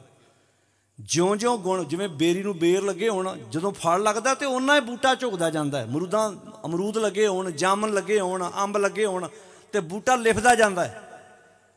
ਜਿਉਂ-ਜਿਉਂ ਗੁਣ ਆਉਂਦੇ ਜਾਣੇ ਆ ਜਿਉਂ-ਜਿਉਂ ਅੰਦਰ ਵਿਚਾਰ ਆਉਂਦੀ, ਤੇ ਵਿਚਾਰ ਗੁਣ ਆਉਣੇ ਕਿੱਥੋਂ ਆ? ਜਦੋਂ ਮੈਂ ਆਪਣੇ ਧੁਰੇ ਨਾਲ ਜੁੜਾਂਗਾ, ਇੱਕ ਵਾਰ ਗੱਜ ਕੇ ਕਹੋ, ਧੰਨ ਸ੍ਰੀ ਗੁਰੂ ਗ੍ਰੰਥ ਸਾਹਿਬ ਜੀ। ਜਿਸ ਮਹਾਨ ਸਤਿਗੁਰ ਦੀ ਗੋਦ ਵਿੱਚ ਬੈਠੇ ਆ, ਜੇ ਗੁਰੂ ਰਾਮਦਾਸ ਮਹਾਰਾਜ ਦਾ ਅੱਜ ਅਸੀਂ ਪ੍ਰਕਾਸ਼ਪੁਰ ਮਨਾ ਰਹੇ ਆ ਨਾ, ਤੇ ਇਹ ਗੁਣ ਆਪਣੀ ਜ਼ਿੰਦਗੀ 'ਚ ਲੈ ਕੇ ਆਈਏ, ਕਿੰਨੀ ਪਿਆਰੀ ਸਿੱਖਿਆ ਉਹਨਾਂ ਦੇ ਜੀਵਨ 'ਚ। ਪੈਦਾ ਕਿੱਥੇ ਹੋਏ? ਤੇ ਜੀਵਨ ਦੀ ਯਾਤਰਾ ਵੇਖੋ ਕਿਦਾਂ ਆਰੰਭ ਹੋਈ। ਵੇਖੋ ਗੁਰੂ ਰਾਮਦਾਸ ਮਹਾਰਾਜ ਜੀਵਨ 'ਚ ਨਾ ਬਹੁਤ ਪੱਖ ਨੇ, ਜਿਹੜੇ ਆਪਾਂ ਵਿਚਾਰਨ ਵਾਲੇ ਆ। ਅੱਜ ਆਪਾਂ ਧੀਆਂ ਦੇ ਰਿਸ਼ਤੇ ਕਰਦੇ ਆ ਸਾਰੇ ਗ੍ਰਸਤੀ ਬੈਠੇ ਆ ਆਪਾਂ। ਸਮਾਜ ਵਿੱਚ ਸਾਡੀ ਆਮ ਹੀ ਇੱਕ ਕੋਸ਼ਿਸ਼ ਹੁੰਦੀ ਹੈ, ਬੰਦਾ ਚਾਹੁੰਦਾ ਵੀ ਮੈਨੂੰ ਕੋਈ ਚੰਗਾ ਪਰਿਵਾਰ ਮਿਲੇ ਜਿੱਥੇ ਮੈਂ ਆਪਣੀ ਧੀ ਦਾ ਰਿਸ਼ਤਾ ਕਰਾਂ। ਚੰਗੇ ਦਾ ਭਾਵ ਕਿ ਉੱਥੇ ਬੰਦਾ ਚਾਰ ਪੈਸੇ ਵੀ ਵੇਖਦਾ ਹੈ। ਘਰ ਚੰਗਾ ਹੋਵੇ, ਜ਼ਮੀਨਾਂ ਜਾਇਦਾਦਾਂ, ਹੁਣ ਤੇ ਨਹੀਂ, ਖੈਰ, ਪਹਿਲਾਂ ਤੇ ਲੋਕੀ ਪੂਰੀ ਪੌਣਛਾਣ ਵੀ ਕਰਦੇ ਸੀ ਵੀ ਇਹਦਾ ਪਿੰਡ ਕਿਹੜਾ ਹੈ, ਰਿਸ਼ਤੇਦਾਰ ਕਿੱਦਾਂ ਦੇ ਨੇ, ਭੈਣ ਭਰਾ ਕਿੱਦਾਂ ਦੇ ਨੇ, ਤਾਏ ਚਾਚੇ ਕਿੱਦਾਂ ਦੇ ਨੇ, ਜ਼ਮੀਨ ਜਾਇਦਾਦ ਹੈ, ਸਾਰਾ ਕੁਝ ਵੇਖਿਆ ਜਾਂਦਾ ਜਿਹੜੀ ਮੇਨ ਗੱਲ ਸੀ ਨਾ ਵੀ ਗੁਣ ਵੇਖੇ ਜਾਣੇ, ਲਿਆਕਤ ਵੇਖੀ ਜਾਣੀ, ਜਾਇਦਾਦ ਭਾਵੇਂ ਘੱਟ ਵੀ ਹੋਵੇ, ਇਹ ਨਜ਼ਰ ਹਰ ਇੱਕ ਦੇ ਦਿਮਾਗ ਵਿੱਚ ਨਹੀਂ ਆਉਂਦੀ, ਇਹ ਪੱਕ ਹਰ ਕੋਈ ਨਹੀਂ ਵੇਖਦਾ। ਗੁਰੂ ਰਾਮਦਾਸ ਮਹਾਰਾਜ ਦੇ ਜੀਵਨ 'ਚ ਬਹੁਤ ਕਮਾਲ ਦੀ ਕੁਆਲਿਟੀ। ਵੇਖੋ, ਇਹ ਗੁਰਪੁਰਬ ਮਨਾਉਣ ਦੇ ਅਰਥ ਹੁੰਦੇ ਨੇ, ਅਸੀਂ ਗੁਰੂ ਪਾਸ਼ਾ ਦੀਆਂ ਸਖਿਆਵਾਂ ਤੇ ਆਪਣੇ ਅੱਜ ਦੇ ਜੀਵਨ ਦੇ ਨਾਲ ਇਹਨਾਂ ਨੂੰ ਜੋੜ ਕੇ ਵੇਖੀ ਅਸੀਂ ਕਿੱਥੇ ਖਲੋਤੇ ਨੇ ਪਾਰਸ਼ ਦਾ ਜੀਵਨ ਕਿੱਥੇ ਸੀ? ਜੇ ਸੁਣਨ ਤੋਂ ਬਾਅਦ ਉਹੋ ਹੀ ਚੀਜ਼ਾਂ ਸਾਡੇ ਦਿਮਾਗ 'ਚ ਉਦਾਂ ਆਈ ਜਾਣ, ਫਿਰ ਮਨਾਇਆ ਗੁਰਪੁਰਬ ਲੰਗਰ ਛਕੇ ਤੇ ਘਰਾਂ ਨੂੰ ਚਲੇ ਗਏ, ਗੱਲ ਫਿਰ ਉੱਥੇ ਦੀ, ਉੱਥੇ ਰਹਿ ਗਈ ਜਿਸ ਦਿਨ ਗੁਰੂ ਅਮਰਦਾਸ ਮਹਾਰਾਜ ਜੀ ਨੇ ਆਪਣੀ ਧੀ ਬੀਬੀ ਭਾਨੀ ਜੀ ਦਾ ਰਿਸ਼ਤਾ ਕੀਤਾ ਸੀ ਨਾ, ਭਾਈ ਜੇਠਾ ਜੀ ਦੇ ਨਾਲ, ਉਹ ਦਿਨ ਆਰਥਿਕ ਪੱਖ ਦਾ, ਜ਼ਮੀਨ ਅਸਮਾਨ ਦਾ ਫ਼ਰਕ ਸੀ। ਗੁਰੂ ਰਾਮਦਾਸ ਮਹਾਰਾਜ ਜੀ ਨਾਲ ਤੇ ਗੁਰੂ ਅਮਰਦਾਸ ਮਹਾਰਾਜ ਜੀ ਨਾਲ। ਕਿਵੇਂ ਭਲਾ? ਸਾਰਿਆਂ ਨੇ ਸਾਖੀਆਂ ਤੁਸੀਂ ਸੁਣੀਆਂ ਜੀ, ਬਹੁਤ ਵਾਰੀ ਮੈਂ ਰਿਪੀਟ ਨਹੀਂ ਕਰਾਂਗਾ, ਮੈਂ ਸਿਰਫ ਟੂਕ ਮਾਤਰ ਗੱਲ ਕਰਾਂਗਾ। ਹਰ ਢਾਡੀ ਸਿੰਘ ਦੇ ਕੋਲੋਂ, ਪ੍ਰਚਾਰਕ ਕੋਲੋਂ, ਗ੍ਰੰਥੀ ਸਿੰਘ ਦੇ ਕੋਲੋਂ ਬਹੁਤ ਵਾਰ ਤੁਸੀਂ ਸਾਖੀਆਂ ਪਹਿਲਾਂ ਵੀ ਸੁਣੀਆਂ। ਮੈਂ ਸਿਰਫ ਟੂਕ ਮਾਤਰ ਗੱਲ ਕਰਾਂਗਾ। ਘੂਣੀਆਂ ਵਾਲੀ ਗੱਲ ਆਪਾਂ ਸਾਰਿਆਂ ਨੇ ਸੁਣੀ ਹੈ। ਵੀ ਇਧਰ ਘੂਣੀਆਂ ਵੇਚਦੇ ਸਨ ਭਾਈ ਜੇਠਾ ਜੀ, ਗੁਜ਼ਾਰਾ ਕਰਦੇ ਸੀ, ਨਾਨੀ ਜੀ ਨਾਲ ਸਨ। ਇਹਦਾ ਮਤਲਬ ਛੋਟੀ ਉਮਰ ਦੇ ਵਿੱਚ ਜੇ ਉਹਨਾਂ ਨੂੰ ਕਬੀਲਦਾਰੀ ਚੱਕਣੀ ਪੈ ਗਈ, ਕੰਮ ਕਰਨਾ ਪੈ ਗਿਆ, ਇਹਦਾ ਮਤਲਬ ਸਿਰ ਦੇ ਉੱਤੇ ਵੱਡਿਆਂ ਦਾ ਸਾਇਆ ਨਹੀਂ ਸੀ। ਅੱਜ ਵੀ ਤੁਸੀਂ ਵੇਖੋ ਜਿਹਦੇ ਘਰ ਦੇ ਵਿੱਚ ਮਾਂ-ਬਾਪ ਦਾ ਸਾਇਆ ਨਹੀਂ ਹੁੰਦਾ ਜਾਂ ਪਿਤਾ ਨਹੀਂ ਹੁੰਦਾ ਤੇ ਛੋਟੀ ਉਮਰ ਦੇ ਵਿੱਚ ਬੱਚਿਆਂ ਨੂੰ ਖੇਤਾਂ 'ਚ ਵੀ ਕੰਮ ਕਰਨਾ ਪੈਂਦਾ ਹੈ, ਮਾਂ-ਬਾਪ ਦੇ ਨਾਲ ਹੱਥ ਵੀ ਵਟਾਉਣਾ ਪੈਂਦਾ ਤੇ ਕਈ ਵਾਰੀ ਮਾਂ-ਬਾਪ ਦੇ ਹੁੰਦਿਆਂ ਬੱਚੇ ਵਿਗੜ ਵੀ ਜਾਂਦੇ ਮਾਂ-ਬਾਪ ਦੇ ਹੁੰਦਿਆਂ ਬੱਚੇ ਗਲਤ ਰਸਤੇ ਵੀ ਪੈ ਜਾਂਦੇ ਵੀ ਕੋਈ ਗੱਲ ਨਹੀਂ, ਸਭ ਕੁਝ ਬਾਪੂ ਨੇ ਆਪੇ ਕਰ ਲੈਣਾ। ਭਾਈ ਜੇਠਾ ਜੀ ਦੇ ਜੀਵਨ ਦੀ ਇਹ ਗੱਲ ਬਹੁਤ ਕਮਾਲ ਦੀ ਹੈ। ਮਾਂ-ਬਾਪ ਭਾਵੇਂ ਬਚਪਨ 'ਚ ਨਹੀਂ ਹੈਗੇ 7 ਸਾਲ ਦੀ ਉਮਰ ਤੱਕ ਮਾਂ-ਬਾਪ ਦੋਨੋਂ ਚੜ੍ਹਾਈ ਕਰ ਗਏ। ਪਰ ਜਦੋਂ ਗੁਰੂ ਅਮਰਦਾਸ ਮਹਾਰਾਜ ਜੀ ਨੇ ਰਿਸ਼ਤਾ ਕੀਤਾ ਨਾ, ਕਿਉਂਕਿ ਇਹ ਪਹਿਲੀ ਵਾਰ ਨਹੀਂ ਹੋਇਆ। ਗੁਰੂ ਅਮਰਦਾਸ ਮਹਾਰਾਜ ਗੁਰੂ ਬਣਨ ਤੋਂ ਪਹਿਲਾਂ ਭਾਈ ਜੇਠਾ ਜੀ ਨੂੰ ਜਾਣਦੇ ਆ, ਕਿਉਂਕਿ ਬਾਸਰ ਕੇ ਉਹਨਾਂ ਦੇ ਨਾਨਕੇ ਨੇ ਤੇ ਗੁਰੂ ਅਮਰਦਾਸ ਮਹਾਰਾਜ ਜੀ ਦਾ ਜੱਦੀ ਪਿੰਡ ਬਾਸਰ ਕੇ ਹੈ। ਤੇ ਜਦੋਂ ਉਹਨਾਂ ਨੇ ਇਹ, ਉਹਨਾਂ ਨੂੰ ਨਿੱਕੇ ਹੁੰਦਿਆਂ ਕਬੀਲਦਾਰੀ ਚੁੱਕਦਿਆਂ ਵੇਖਿਆ, ਕੰਮ ਕਰਦਿਆਂ ਵੇਖਿਆ, ਨਿਗਾਹ ਪੈ ਗਈ, ਪਾਰਖੂ ਸਨ ਗੁਰੂ ਪਾਤਸ਼ਾਹ ਜੀ। ਗੁਰਤਾ ਗੱਦੀ ਤੇ ਧੰਨ ਗੁਰੂ ਅਮਰਦਾਸ ਮਹਾਰਾਜ 52 ਵਿੱਚ ਬੈੰਦੇ ਆ 1552 ਈਸਵੀ ਦੇ ਵਿੱਚ ਗੁਰਤਾ ਗੱਦੀ ਜ਼ਿੰਮੇਵਾਰੀ ਚੱਕਦੇ। 53 ਵਿੱਚ ਉਹਨਾਂ ਨੇ ਇੱਕ ਸਾਲ ਬਾਅਦ ਹੀ ਵਿਆਹ ਕਰ ਦਿੱਤਾ ਭਾਈ ਜੇਠਾ ਜੀ ਦਾ ਤੇ ਬੀਬੀ ਭਾਨੀ ਜੀ ਦਾ। ਗੁਰੂ ਰਾਮਦਾਸ ਮਹਾਰਾਜ ਗੁਰਤਾ ਗੱਦੀ ਤੇ ਬਹਿਣ ਤੋਂ ਪਹਿਲਾਂ ਤਿੰਨਾਂ ਬੇਟਿਆਂ ਦੇ ਬਾਪ ਬਣ ਚੁੱਕੇ ਸੀ। ਤਿੰਨ ਬੱਚੇ ਉਹਨਾਂ ਦੇ ਘਰ ਪੈਦਾ ਹੋ ਚੁੱਕੇ ਸੀ। ਸਭ ਤੋਂ ਵੱਡੇ ਬਾਬਾ ਪ੍ਰਿਥੀ ਚੰਦ ਸੀ। ਉਹਨਾਂ ਦਾ ਜਨਮ 57 ਦਾ 1500 ਦਾ। ਤੇ 1560 ਵਿੱਚ ਬਾਬਾ ਮਹਾਦੇਵ ਜੀ ਤੇ 63 ਵਿੱਚ ਗੁਰੂ ਅਰਜਨ ਸਾਹਿਬ ਸੱਚੇ ਪਾਤਸ਼ਾਹ ਜੀ। ਕਮਾਲ ਦੀ ਗੱਲ ਹੈ ਵੀ ਗੁਰੂ ਅਮਰਦਾਸ ਮਹਾਰਾਜ ਜੀ ਨੇ ਉਹਨਾਂ ਵਿੱਚ ਲਿਆਕਤ ਵੇਖੀ, ਕੁਆਲਿਟੀ ਵੇਖੀ, ਗੁਣ ਵੇਖੇ, ਜਾਇਦਾਦ ਨਹੀਂ ਵੇਖੀ। ਤੇ ਅੱਜ ਸਿਰ ਝੁਕਦਾ ਹਰ ਇੱਕ ਦੇ ਚਰਨ, ਹਰ ਇੱਕ ਦਾ, ਗੁਰੂ ਰਾਮਦਾਸ ਮਹਾਰਾਜ ਦੇ ਚਰਨਾਂ ਵਿੱਚ ਗੁਣ ਵੇਖੇ। ਪਰ ਅੱਜ ਸਾਡਾ ਸਮਾਜ ਕਿੱਥੇ ਖਲੋਤਾ ਹੈ? ਅਸੀਂ ਕਈ ਵਾਰੀ ਜਾਇਦਾਦਾਂ ਵੇਖ ਕੇ ਰਿਸ਼ਤੇ ਕਰਦੇ ਹਾਂ, ਬਾਅਦ ਵਿੱਚ ਪਤਾ ਲੱਗਦਾ ਲੜਕਾ ਤੇ ਸਮੈਕ ਪੀਂਦਾ ਹੈ। ਲੜਕਾ ਤੇ ਐਬੀ ਹੈ, ਨਸ਼ੇੜੀ ਹੈ, ਨਸ਼ਾ ਕਰਦਾ ਹੈ। ਪਰ ਜਾਇਦਾਦ ਵੇਖ ਕੇ ਅਸੀਂ ਆਪਣੀ ਧੀ ਦਾ, ਤੁਸੀਂ ਵੇਖਿਓ ਅੱਜ ਡਿਵੋਰਸ ਕੇਸ ਜਿਹੜੇ ਤਲਾਕ ਵਾਲੀ ਐਵਰੇਜ ਹੈ, ਬਹੁਤ ਜ਼ਿਆਦਾ ਹੈ। ਕਾਰਨ ਲੱਭ ਕੇ ਵੇਖਿਓ, ਪਹਿਲਾਂ ਜ਼ਮਾਨਾ ਹੁੰਦਾ ਸੀ ਵੀ ਧੀ ਵਿਆਹ ਦੇਣੀ, ਕਹਿਣਾ ਹੁਣ ਪਾਰ ਲੈ ਗਿਆ ਨਾ, ਇਹ ਜ਼ਰੂਰੀ ਨਹੀਂ ਬਹੁਤ ਐਸੇ ਪਰਿਵਾਰ ਨੇ ਜਿਨ੍ਹਾਂ ਨੂੰ ਫਿਰ ਵਿਚਾਰਿਆਂ ਦੇ ਉੱਤੇ ਜ਼ਿੰਮੇਵਾਰੀਆਂ ਪੈ ਜਾਂਦੀਆਂ ਨੇ। ਕਿਉਂਕਿ ਅਸੀਂ ਅਸੀਂ ਇਹ ਚੀਜ਼ਾਂ ਗਵਾ ਕੇ ਬਹਿ ਗਏ। ਮਾਫ ਕਰਨਾ, ਅਸੀਂ ਜਵਾਈ ਨੇਕ ਚਾਹੁੰਦੇ ਆ ਪਰ ਆਪਣਾ ਵੀ ਪੁੱਤਰ ਕਿਸੇ ਦਾ ਜਵਾਈ ਬਣਨਾ, ਉਧਰ ਸਾਡਾ ਧਿਆਨ ਹੈ ਨਹੀਂ। ਅਸੀਂ ਨੋ ਚਾਹੁੰਦੇ, ਸੇਵਾ ਵਾਲੀ ਮਿਲੇ। ਪਰ ਸਾਡੀ ਧੀ ਨੇ ਵੀ ਕਿਸੇ ਦੇ ਘਰ ਜਾ ਕੇ ਨੋ ਬਣਨਾ ਉਧਰ ਥੋੜਾ ਜਿਹਾ ਧਿਆਨ ਸਾਡਾ ਘੱਟ ਹੈ। ਇਹ ਗੱਲਾਂ ਗੁਰੂ ਦੀ ਗੋਦ ਵਿੱਚ ਬਹਿ ਕੇ ਹਰ ਇੱਕ ਮਾਂ-ਬਾਪ ਨੂੰ ਸਿੱਖਣੀ ਕਈ ਮੈਨੂੰ ਪੁੱਛਦੇ, ਭਾਈ ਸਾਹਿਬ ਜੀ, ਇਹ ਬਾਣੀ 'ਚ ਲਿਖਿਆ ਮੈਂ ਕਿਹਾ, ਲਿਖਿਆ, ਤੁਸੀਂ ਅਖੰਡ ਪਾਠ ਹੀ ਕਰਵਾਏ ਨੇ, ਕਦੀ ਕੋਲ ਬਹਿ ਕੇ ਤਾਂ ਸੁਣਿਆ ਨਹੀਂ। ਤੁਸੀਂ ਤੇ ਅਖੰਡ ਪਾਠ ਗੁਰਦੁਆਰੇ ਕਰਾਤਾ, ਆਪ ਜਾ ਚਲੇ ਗਏ ਘਰ। ਜਾਂ ਅਖੰਡ ਪਾਠ ਕਿਸੇ ਡੇਰੇ 'ਚ ਹੋਈ ਗਿਆ, ਆਪ ਤੁਸੀਂ ਕਿਤੇ ਹੋਰ ਬੈਠੇ ਹੋ? ਜਿੱਦਣ ਤੁਸੀਂ ਗੁਰਬਾਣੀ ਖੁਦ ਪੜ੍ਹੀ ਨਾ, ਤੁਹਾਨੂੰ ਪਤਾ ਹੋਏਗਾ ਬਾਣੀ 'ਚ ਕੀ ਲਿਖਿਆ, ਭੈ ਕੀਆਂ ਦੇ ਸਲਾਈਆਂ ਨੈਣੀ, ਭਾਵਕਾ ਕਰ ਸ਼ਿੰਗਾਰੋ, ਤਾਂ ਸੁਹਾਗੜ ਜਾਣੀਆਂ ਲਾਗੀ। ਜਾਂ ਸ਼ਹਿ ਧਰੇ ਪਿਆਰੋ। ਇਹ ਆਣੀ ਬਾਲੀ ਕਾ ਕਰੇ। ਇਹ ਸ਼ਬਦ ਬਾਣੀ 'ਚ ਲਿਖੇ ਹੋਏ ਆ। ਵਿਆਹ ਹੁਆ ਮੇਰੇ ਬਾਬਲਾ, ਗੁਰਮੁਖੇ ਹਰ ਪਾਇਆ, ਅਗਿਆਨ ਅੰਧੇਰਾ ਕਟਿਆ। ਗੁਰ ਗਿਆਨ ਪ੍ਰਚੰਡ ਬਲਾਇਆ, ਬਲਿਆ ਗੁਰ ਗਿਆਨ ਅੰਧੇਰਾ ਬਿਨਸਿਆ, ਹਰ ਰਤਨ ਪਦਾਰਥ ਲਾਦਾ। ਹਉਮੈ ਰੋਗ ਗਿਆ ਦੁਖ ਲਾਥਾ, ਆਪ ਆਪੇ ਗੁਰਮਤ ਖਾਦਾ ਇਹ ਬਾਣੀ 'ਚ ਲਿਖਿਆ ਹੋਇਆ ਵਾ। ਪਰ ਜਦੋਂ ਸਾਡੇ ਘਰ 'ਚ ਬਾਣੀ ਪੜ੍ਹੀ ਜਾ ਰਹੀ ਹੁੰਦੀ ਹੈ, ਅਸੀਂ ਉਦੋਂ ਗੁਰੂ ਗ੍ਰੰਥ ਸਾਹਿਬ ਜੀ ਦੇ ਕੋਲ ਬੋਲੋ ਗੁਰੂ ਕੇ ਪਿਆਰਿਓ। ਨਹੀਂ ਬੈਠੇ ਹੁੰਦੇ। ਮਾਰੋ ਧਿਆਨ ਆਪੋ ਆਪਣੇ ਘਰਾਂ ਵੱਲ। ਜਦੋਂ ਆਪਾਂ ਅਖੰਡ ਪਾਠ ਕਰਾਉਂਦੇ ਆ ਕੋਲ ਬਹਿ ਕੇ ਸੁਣਦੇ ਆ ਕਦੀ ਡਿਊਟੀ ਲਾਈ ਆ ਵੀ ਅਸੀਂ ਬਾਣੀ ਬਹਿ ਕੇ ਕੋਲ ਸੁਣਨੀ ਹੈ। ਕੋਈ ਚੰਗਾ ਪਰਿਵਾਰ ਆਪਣੇ ਘਰ, ਇਹ ਗ੍ਰੰਥੀ ਸਿੰਘਾਂ ਨੂੰ ਕਹੇ ਨਾ ਜੀ, ਅਸੀਂ ਸਾਰੇ ਟੱਬਰ ਨੇ ਬਾਣੀ ਕੋਲ ਬਹਿ ਕੇ ਪਾਠ ਸੁਣਨਾ ਹੈ। ਮਾਫ ਕਰਨਾ, ਸਚਾਈ ਹੈ, ਗ੍ਰੰਥੀ ਵੀ ਸੋਚੀ ਪੈ ਜਾਣਗੇ ਵੀ ਇਹਨਾਂ ਦੇ ਘਰ ਸਾਰੇ ਸ਼ੁੱਧ ਪਾਠ ਕਰਨ ਵਾਲੇ ਪਾਠੀ ਸਿੰਘ ਜਾਇਓ। ਸੱਚ ਹੈ ਯੂ ਐਸ ਏ ਦੀ ਗੱਲ ਇੱਕ ਪਰਿਵਾਰ ਨੇ ਆਪਣੇ ਘਰ ਪਾਠ ਰਖਾਇਆ। ਉਹਨਾਂ ਨੇ ਤਿੰਨ ਤਿੰਨ ਚਾਰ ਚਾਰ ਜੀ ਕੋਲ ਬਹਿ ਕੇ ਸੁਣਦੇ ਸੀ। ਤੇ ਗ੍ਰੰਥੀ ਸਿੰਘ ਆਂਦੇ, ਸੱਚੀ ਗੱਲ ਜੀ, ਅਸੀਂ ਰਾਤ ਦੇ 2 ਵਜੇ ਵੀ ਕਰਦੇ ਸੀ, ਬੋਲ ਕੇ ਪਾਠ ਕਰਨਾ ਪੈਂਦਾ ਸੀ। ਤੇ ਇੱਥੇ ਕਈ ਵਾਰੀ ਆਪਣੇ ਆਮ ਘਰਾਂ 'ਚ ਹੁੰਦਾ ਵੀ, ਉਹ ਦਿਨ ਵੇਲੇ ਵੀ ਉਹ ਮੂੰਹ 'ਚ ਹੀ ਕਰ ਰਿਹਾ, ਉਹ ਕਹਿੰਦੇ ਗਾੜੀ ਬਹਿ ਕੇ ਸੁਣ ਹੀ ਨਹੀਂ ਰਿਹਾ, ਅਸੀਂ ਸੁਣਾਈਏ ਕਿਹਨੂੰ ਪਾਠ? ਉਹ ਵੀ ਸੱਚੇ ਤੇ ਟੀਚਰ ਪੜ੍ਹਾਏਗਾ ਤਾਂ ਹੀ ਜੀ ਅੱਗੇ ਕੋਲ ਬਹਿ ਕੇ ਕੋਈ ਸਟੂਡੈਂਟ ਬੋਲੋ ਪਿਆਰਿਓ। ਸੁਣੇਗਾ ਤੇ।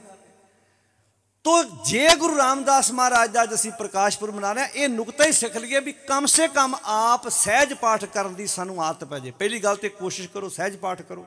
ਚਲੋ ਜੇ ਪਾਠ ਕਰਾਉਣਾ ਹੀ ਆ, ਇੰਨੀ ਕਿ ਤੇ ਗੱਲ ਰੱਖੋ ਨਾ ਵੀ ਕੋਲ ਬਹਿ ਕੇ ਅਸੀਂ ਸੁਣੀਏ। ਪਾਠ ਤੇ ਗੁਰਦਾਰੇ ਹੋ ਰਿਹਾ ਜਾਂ ਡੇਰੇ 'ਚ ਹੋ ਰਿਹਾ ਤੇ ਜਿਨ੍ਹਾਂ ਦਾ ਪਾਠ ਹੋ ਰਿਹਾ, ਆਪ ਉਥੇ ਜੀ ਇੱਕ ਵੀ ਹੈ ਨਹੀਂ। ਪਰਿਵਾਰ ਦਾ ਇੱਕ ਵੀ ਜੀ ਕੋਲ ਨਹੀਂ ਬੈਠਾ ਹਾਂ, ਉਹਨਾਂ ਦੇ ਨਾਂ ਦੀ ਅਰਦਾਸ ਹੋ ਜਾਣੀ ਹੈ ਵੀ ਮਹਾਰਾਜ ਫਲ ਉਹਨਾਂ ਨੂੰ ਪਹੁੰਚਾ ਦਿਓ। ਇਦਾਂ ਦਾ ਕਿਹੜਾ ਫਲ ਹੈ ਜਿਹੜਾ ਜੀ ਕਿਤੇ ਕੋਈ ਬੈਠਾ ਹੋ ਰਿਹਾ? ਇਹੋ ਕੰਮ ਹੀ ਤੇ ਵਿਪਰ ਕਰਦਾ ਸੀ, ਉਹ ਕੰਮ ਅੱਜ ਅਸੀਂ ਕਰਨ ਲੱਗ ਪਏ। ਇਹੋ ਕੰਮ ਹੀ ਉਹ ਕਰਦਾ ਸੀ, ਉਹ ਕਹਿੰਦਾ ਸੀ, ਤੇਰੇ ਕੋਲ ਟਾਈਮ ਹੈ ਨਹੀਂ, ਮੈਂ ਇੰਨੇ ਸਿਮਰਨ ਕੀਤੇ, ਇੰਨੀ ਮਾੜਾ ਫੇਰੀ ਹੈ। ਲੈ ਮੈਂ ਤੇਰੇ ਨਾਂ ਦੀ ਅਰਦਾਸ ਕਰ ਦੇਣਾ ਪਾਸ਼ਾ ਕਹਿੰਦੇ, ਨਾ ਭਾਈ, ਬਿਨ ਖਾਏ ਬੂਝੇ ਨਹੀਂ ਭੁੱਖੇ ਤੇ ਬਿਨਾ ਖਾਣ ਤੋਂ ਭੁੱਖ ਨਹੀਂ ਮਿਟਣੀ। ਰੋਗ ਜਾਏ ਤਾਂ ਉਤਰੇ ਦੁੱਖ। ਭਾਈ ਗੁਰਦਾਸ ਦੇ ਬਚਨ ਪੜੋ ਖਾਂਡ ਖਾਂਡ ਕਹੇ, ਜੇਬਾਂ ਨਾਲ ਸਵਾਦ ਮਿੱਠੂ ਆਵੇ। ਖਾਂਡ ਖਾਂਡ ਕਹਿਣ ਨਾਲ ਥੋੜਾ ਜ਼ਬਾਨ ਮਿੱਠੀ ਹੋਣੀ ਹੈ। ਅਗਨ ਅਗਨ ਕਹੇ, ਸੀਤ ਨਾ ਬਨਾਸ, ਕੱਲੀ ਅੱਗ ਕਹਿਣ ਨਾਲ ਥੋੜਾ ਠੰਡ ਦੂਰ ਹੋ ਜਾਣੀ ਹੁਣ ਤੁਹਾਨੂੰ ਠੰਡ ਲੱਗੀ ਹੋਵੇ ਪੋ ਮਗ ਦੀਆਂ ਰਾਤਾਂ 'ਚ। ਤੁਸੀਂ ਕਹੋ ਜੀ, ਬੜਾ ਕਾਂਬਾ ਛੜਿਆ। ਤੇ ਦੂਜਾ ਕਹੇ ਅੱਗ ਅੱਗ ਕਹਿ, ਜ਼ੋਰ ਨਾਲ ਤੈਨੂੰ ਨਿੱਘ ਆ ਜਾਣਾ। ਤੂੰ ਜ਼ੋਰ ਜ਼ੋਰ ਨਾਲ ਹੀਟਰ ਦਾ ਨਾਂ ਲਈ ਜਾ। ਵੇਖੀ ਤੇਰੀ ਰਜਾਈ ਗਰਮ ਹੋ ਜਾਣੀ ਹੈ। ਤੇਰੇ ਹੱਥ ਜਿਹੜੇ ਸੋਨਾ ਨਾ, ਇਹ ਤੇਰੇ ਇੱਥੇ ਨਿੱਗੇ ਹੋ ਜਾਣੇ ਆ। ਅੱਛਾ, ਮੰਨ ਲਓ ਬੰਦਾ 15 ਮਿੰਟ ਅੱਗ ਦਾ ਨਾਂ ਲਈ ਜਾਵੇ, ਵੀ ਅੱਗ ਅੱਗ ਕਹੀ ਜਾਵੇ। ਕਿਉਂ ਜੀ? ਹੱਥ ਨਿੱਗੇ ਹੋ ਜਾਣਗੇ ਸਾਧ ਸੰਗਤ ਜੀ। ਬੋਲੋ ਗੁਰੂ ਕੇ ਪਿਆਰਿਓ। ਤੇ ਭਾਈ ਗੁਰਦਾਸ ਜੀ ਕੀ ਕਹਿੰਦੇ? ਕਹਿੰਦੇ, ਆ ਖਾਂਡ ਖਾਂਡ ਕਹਿ, ਜੇਬਾ ਨਾ ਸਵਾਦ ਮੀਠੂ ਆਵੇ। ਸਬਜੀ ਬਣੀ ਹੋਵੇ, ਮਿਰਚਾਂ ਵੱਧ ਪੈ ਜਾਣ ਕਿਤੇ ਘਰ 'ਚ, ਭੈਣ ਕੋਲੋਂ, ਪਤਨੀ ਕੋਲੋਂ, ਮਾਂ ਕੋਲੋਂ ਬਣਾਉਂਦੇ ਆ ਮਿਰਚ ਲੱਗੀ ਹੋਵੇ। ਤੇ ਤੁਸੀਂ ਖੰਡ ਖੰਡ ਕਹੀ ਜਾਓ, ਭਲਾ ਜ਼ਬਾਨ ਮਿੱਠੀ ਹੋ ਜਾਊਗੀ। ਦੂਜਾ ਕਹਿੰਦਾ ਖੰਡ ਭਾਵੇਂ ਨਾ ਕਹੇ, ਹੱਥ ਦੀ ਤਲੀ ਤੇ ਰੱਖ ਕੇ ਦੋ ਦਾਣੇ ਜ਼ੁਬਾਨ ਤੇ ਰੱਖ ਲਾ। ਤੈਨੂੰ ਨਾ ਲੈਣ ਦੀ ਲੋੜ ਹੀ ਨਹੀਂ ਖੰਡ ਦਾ। ਤੇਰੀ ਜ਼ੁਬਾਨ, ਉਹ ਜਿਹੜੀ ਜ਼ੁਬਾਨ ਤੇ ਰੱਖਣੀ ਖੰਡ, ਉਹਨੇ ਆਪੇ ਜੋ ਜ਼ੁਬਾਨ ਮਿੱਠੀ ਕਰ ਦੇਣੀ ਹੈ।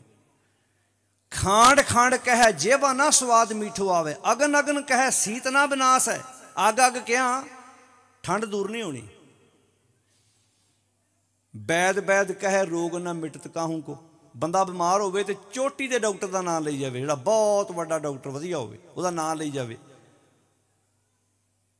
ਬੰਦੇ ਨੂੰ ਖਾਂਸੀ ਲੱਗੀ ਹੋਵੇ ਤੇ ਦਵਾਈ ਦਾ ਨਾਮ ਲਈ ਜਾਵੇ। ਕਿਉਂ ਜੀ? ਸਾਧ ਸੰਗਤ ਜੀ।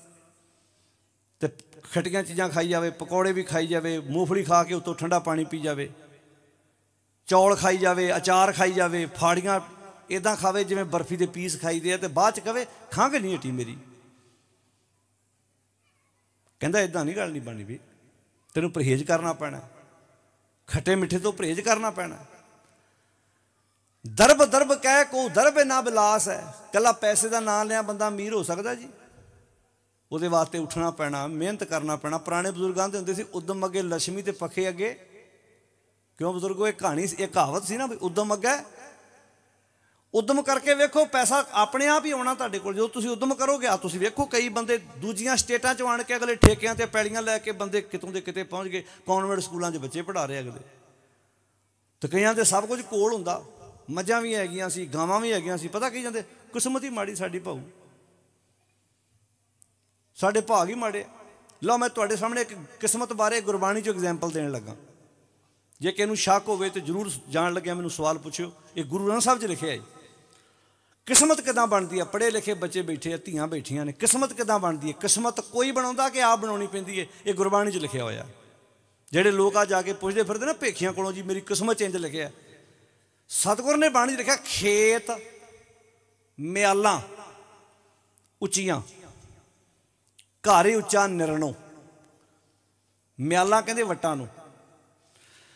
ਜਦੋਂ ਜੂਨ ਦੇ ਮਹੀਨੇ 'ਚ ਝੋਨੇ ਦੀ ਲਵਾਈ ਸ਼ੁਰੂ ਹੁੰਦੀ ਆ ਪਾਣੀ ਛੱਡਿਆ ਜਾਂਦਾ ਤੇ ਮੀਂਹ ਪੈਣਾ ਸ਼ੁਰੂ ਹੋ ਗਿਆ। ਜੂਨ ਤੋਂ ਬਾਅਦ ਅੱਗੇ ਜੁਲਾਈ ਦੇ ਮਹੀਨੇ 'ਚ ਮੀਂਹ ਪੈਣੇ ਸ਼ੁਰੂ ਹੋ ਗਏ।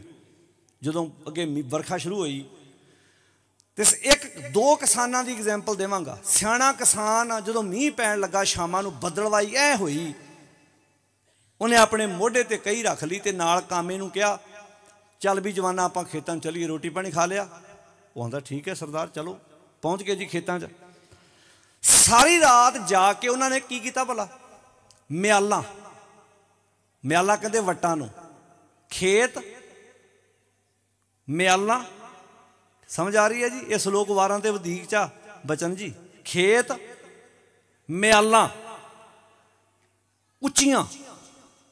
ਘਰ ਹੀ ਉੱਚਾ ਨਿਰਨੋ ਘਰ ਕਹਿੰਦੇ ਬੱਦਲ ਨੂੰ। ਜਦੋਂ ਬੱਦਲ ਵਿਖਿਆ ਨਾ, ਝੁਕਿਆ, ਐਨ ਕਾਲਾ ਕਾਲੀ ਘਾਟ ਛਾਈ ਹੋਈ ਆ ਤੇ ਬੱਦਲ ਝੁਕਿਆ ਹੋਇਆ ਵਾ ਤੇ ਮਾੜਾ ਮਾੜਾ ਮੀਂਹ ਪੈਣਾ ਸ਼ੁਰੂ ਹੋ ਗਿਆ ਵਾ।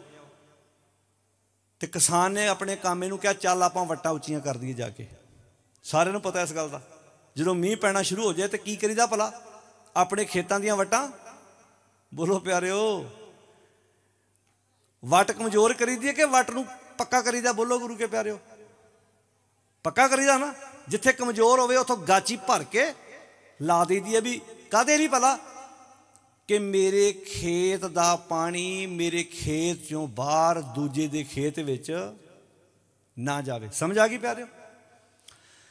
ਕਿਸਾਨ ਸਾਰੀ ਰਾਤ ਜਾ ਕੇ ਉਹਨੇ ਆਪਣੇ ਕਾਮੇ ਨੂੰ ਨਾਲ ਲੈ ਕੇ ਆਪਣੇ ਖੇਤ ਦੀਆਂ ਵੱਟਾਂ ਉੱਚੀਆਂ ਕਰ ਲਈਆਂ।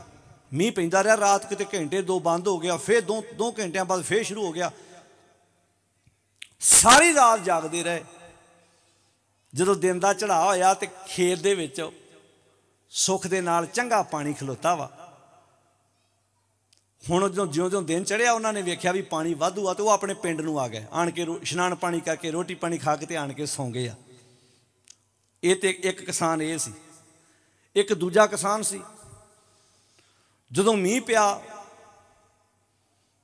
ਉਹਦੇ ਵੀ ਘਰ ਪਰਿਵਾਰ ਨੇ ਕਿਹਾ, ਉਹਦੀ ਘਰ ਵਾਲੇ ਨੇ ਕਿਹਾ ਵੀ ਤੁਸੀਂ ਵੀ ਸਰਦਾਰ ਸਭ ਖੇਤਾਂ ਨੂੰ ਜਾਓ। ਗਵਾਂਢੀ ਚਲੇ ਗਏ ਆ। ਕਈ ਵਾਰੀ ਆਪਾਂ ਨੂੰ ਇਹ ਹੁੰਦਾ ਨਾ ਵੀ ਦੂਜਾ ਨਾ ਕਿਤੇ ਮੇਰੇ ਤੋਂ ਅੱਗੇ ਲੰਘ ਜਾਏ।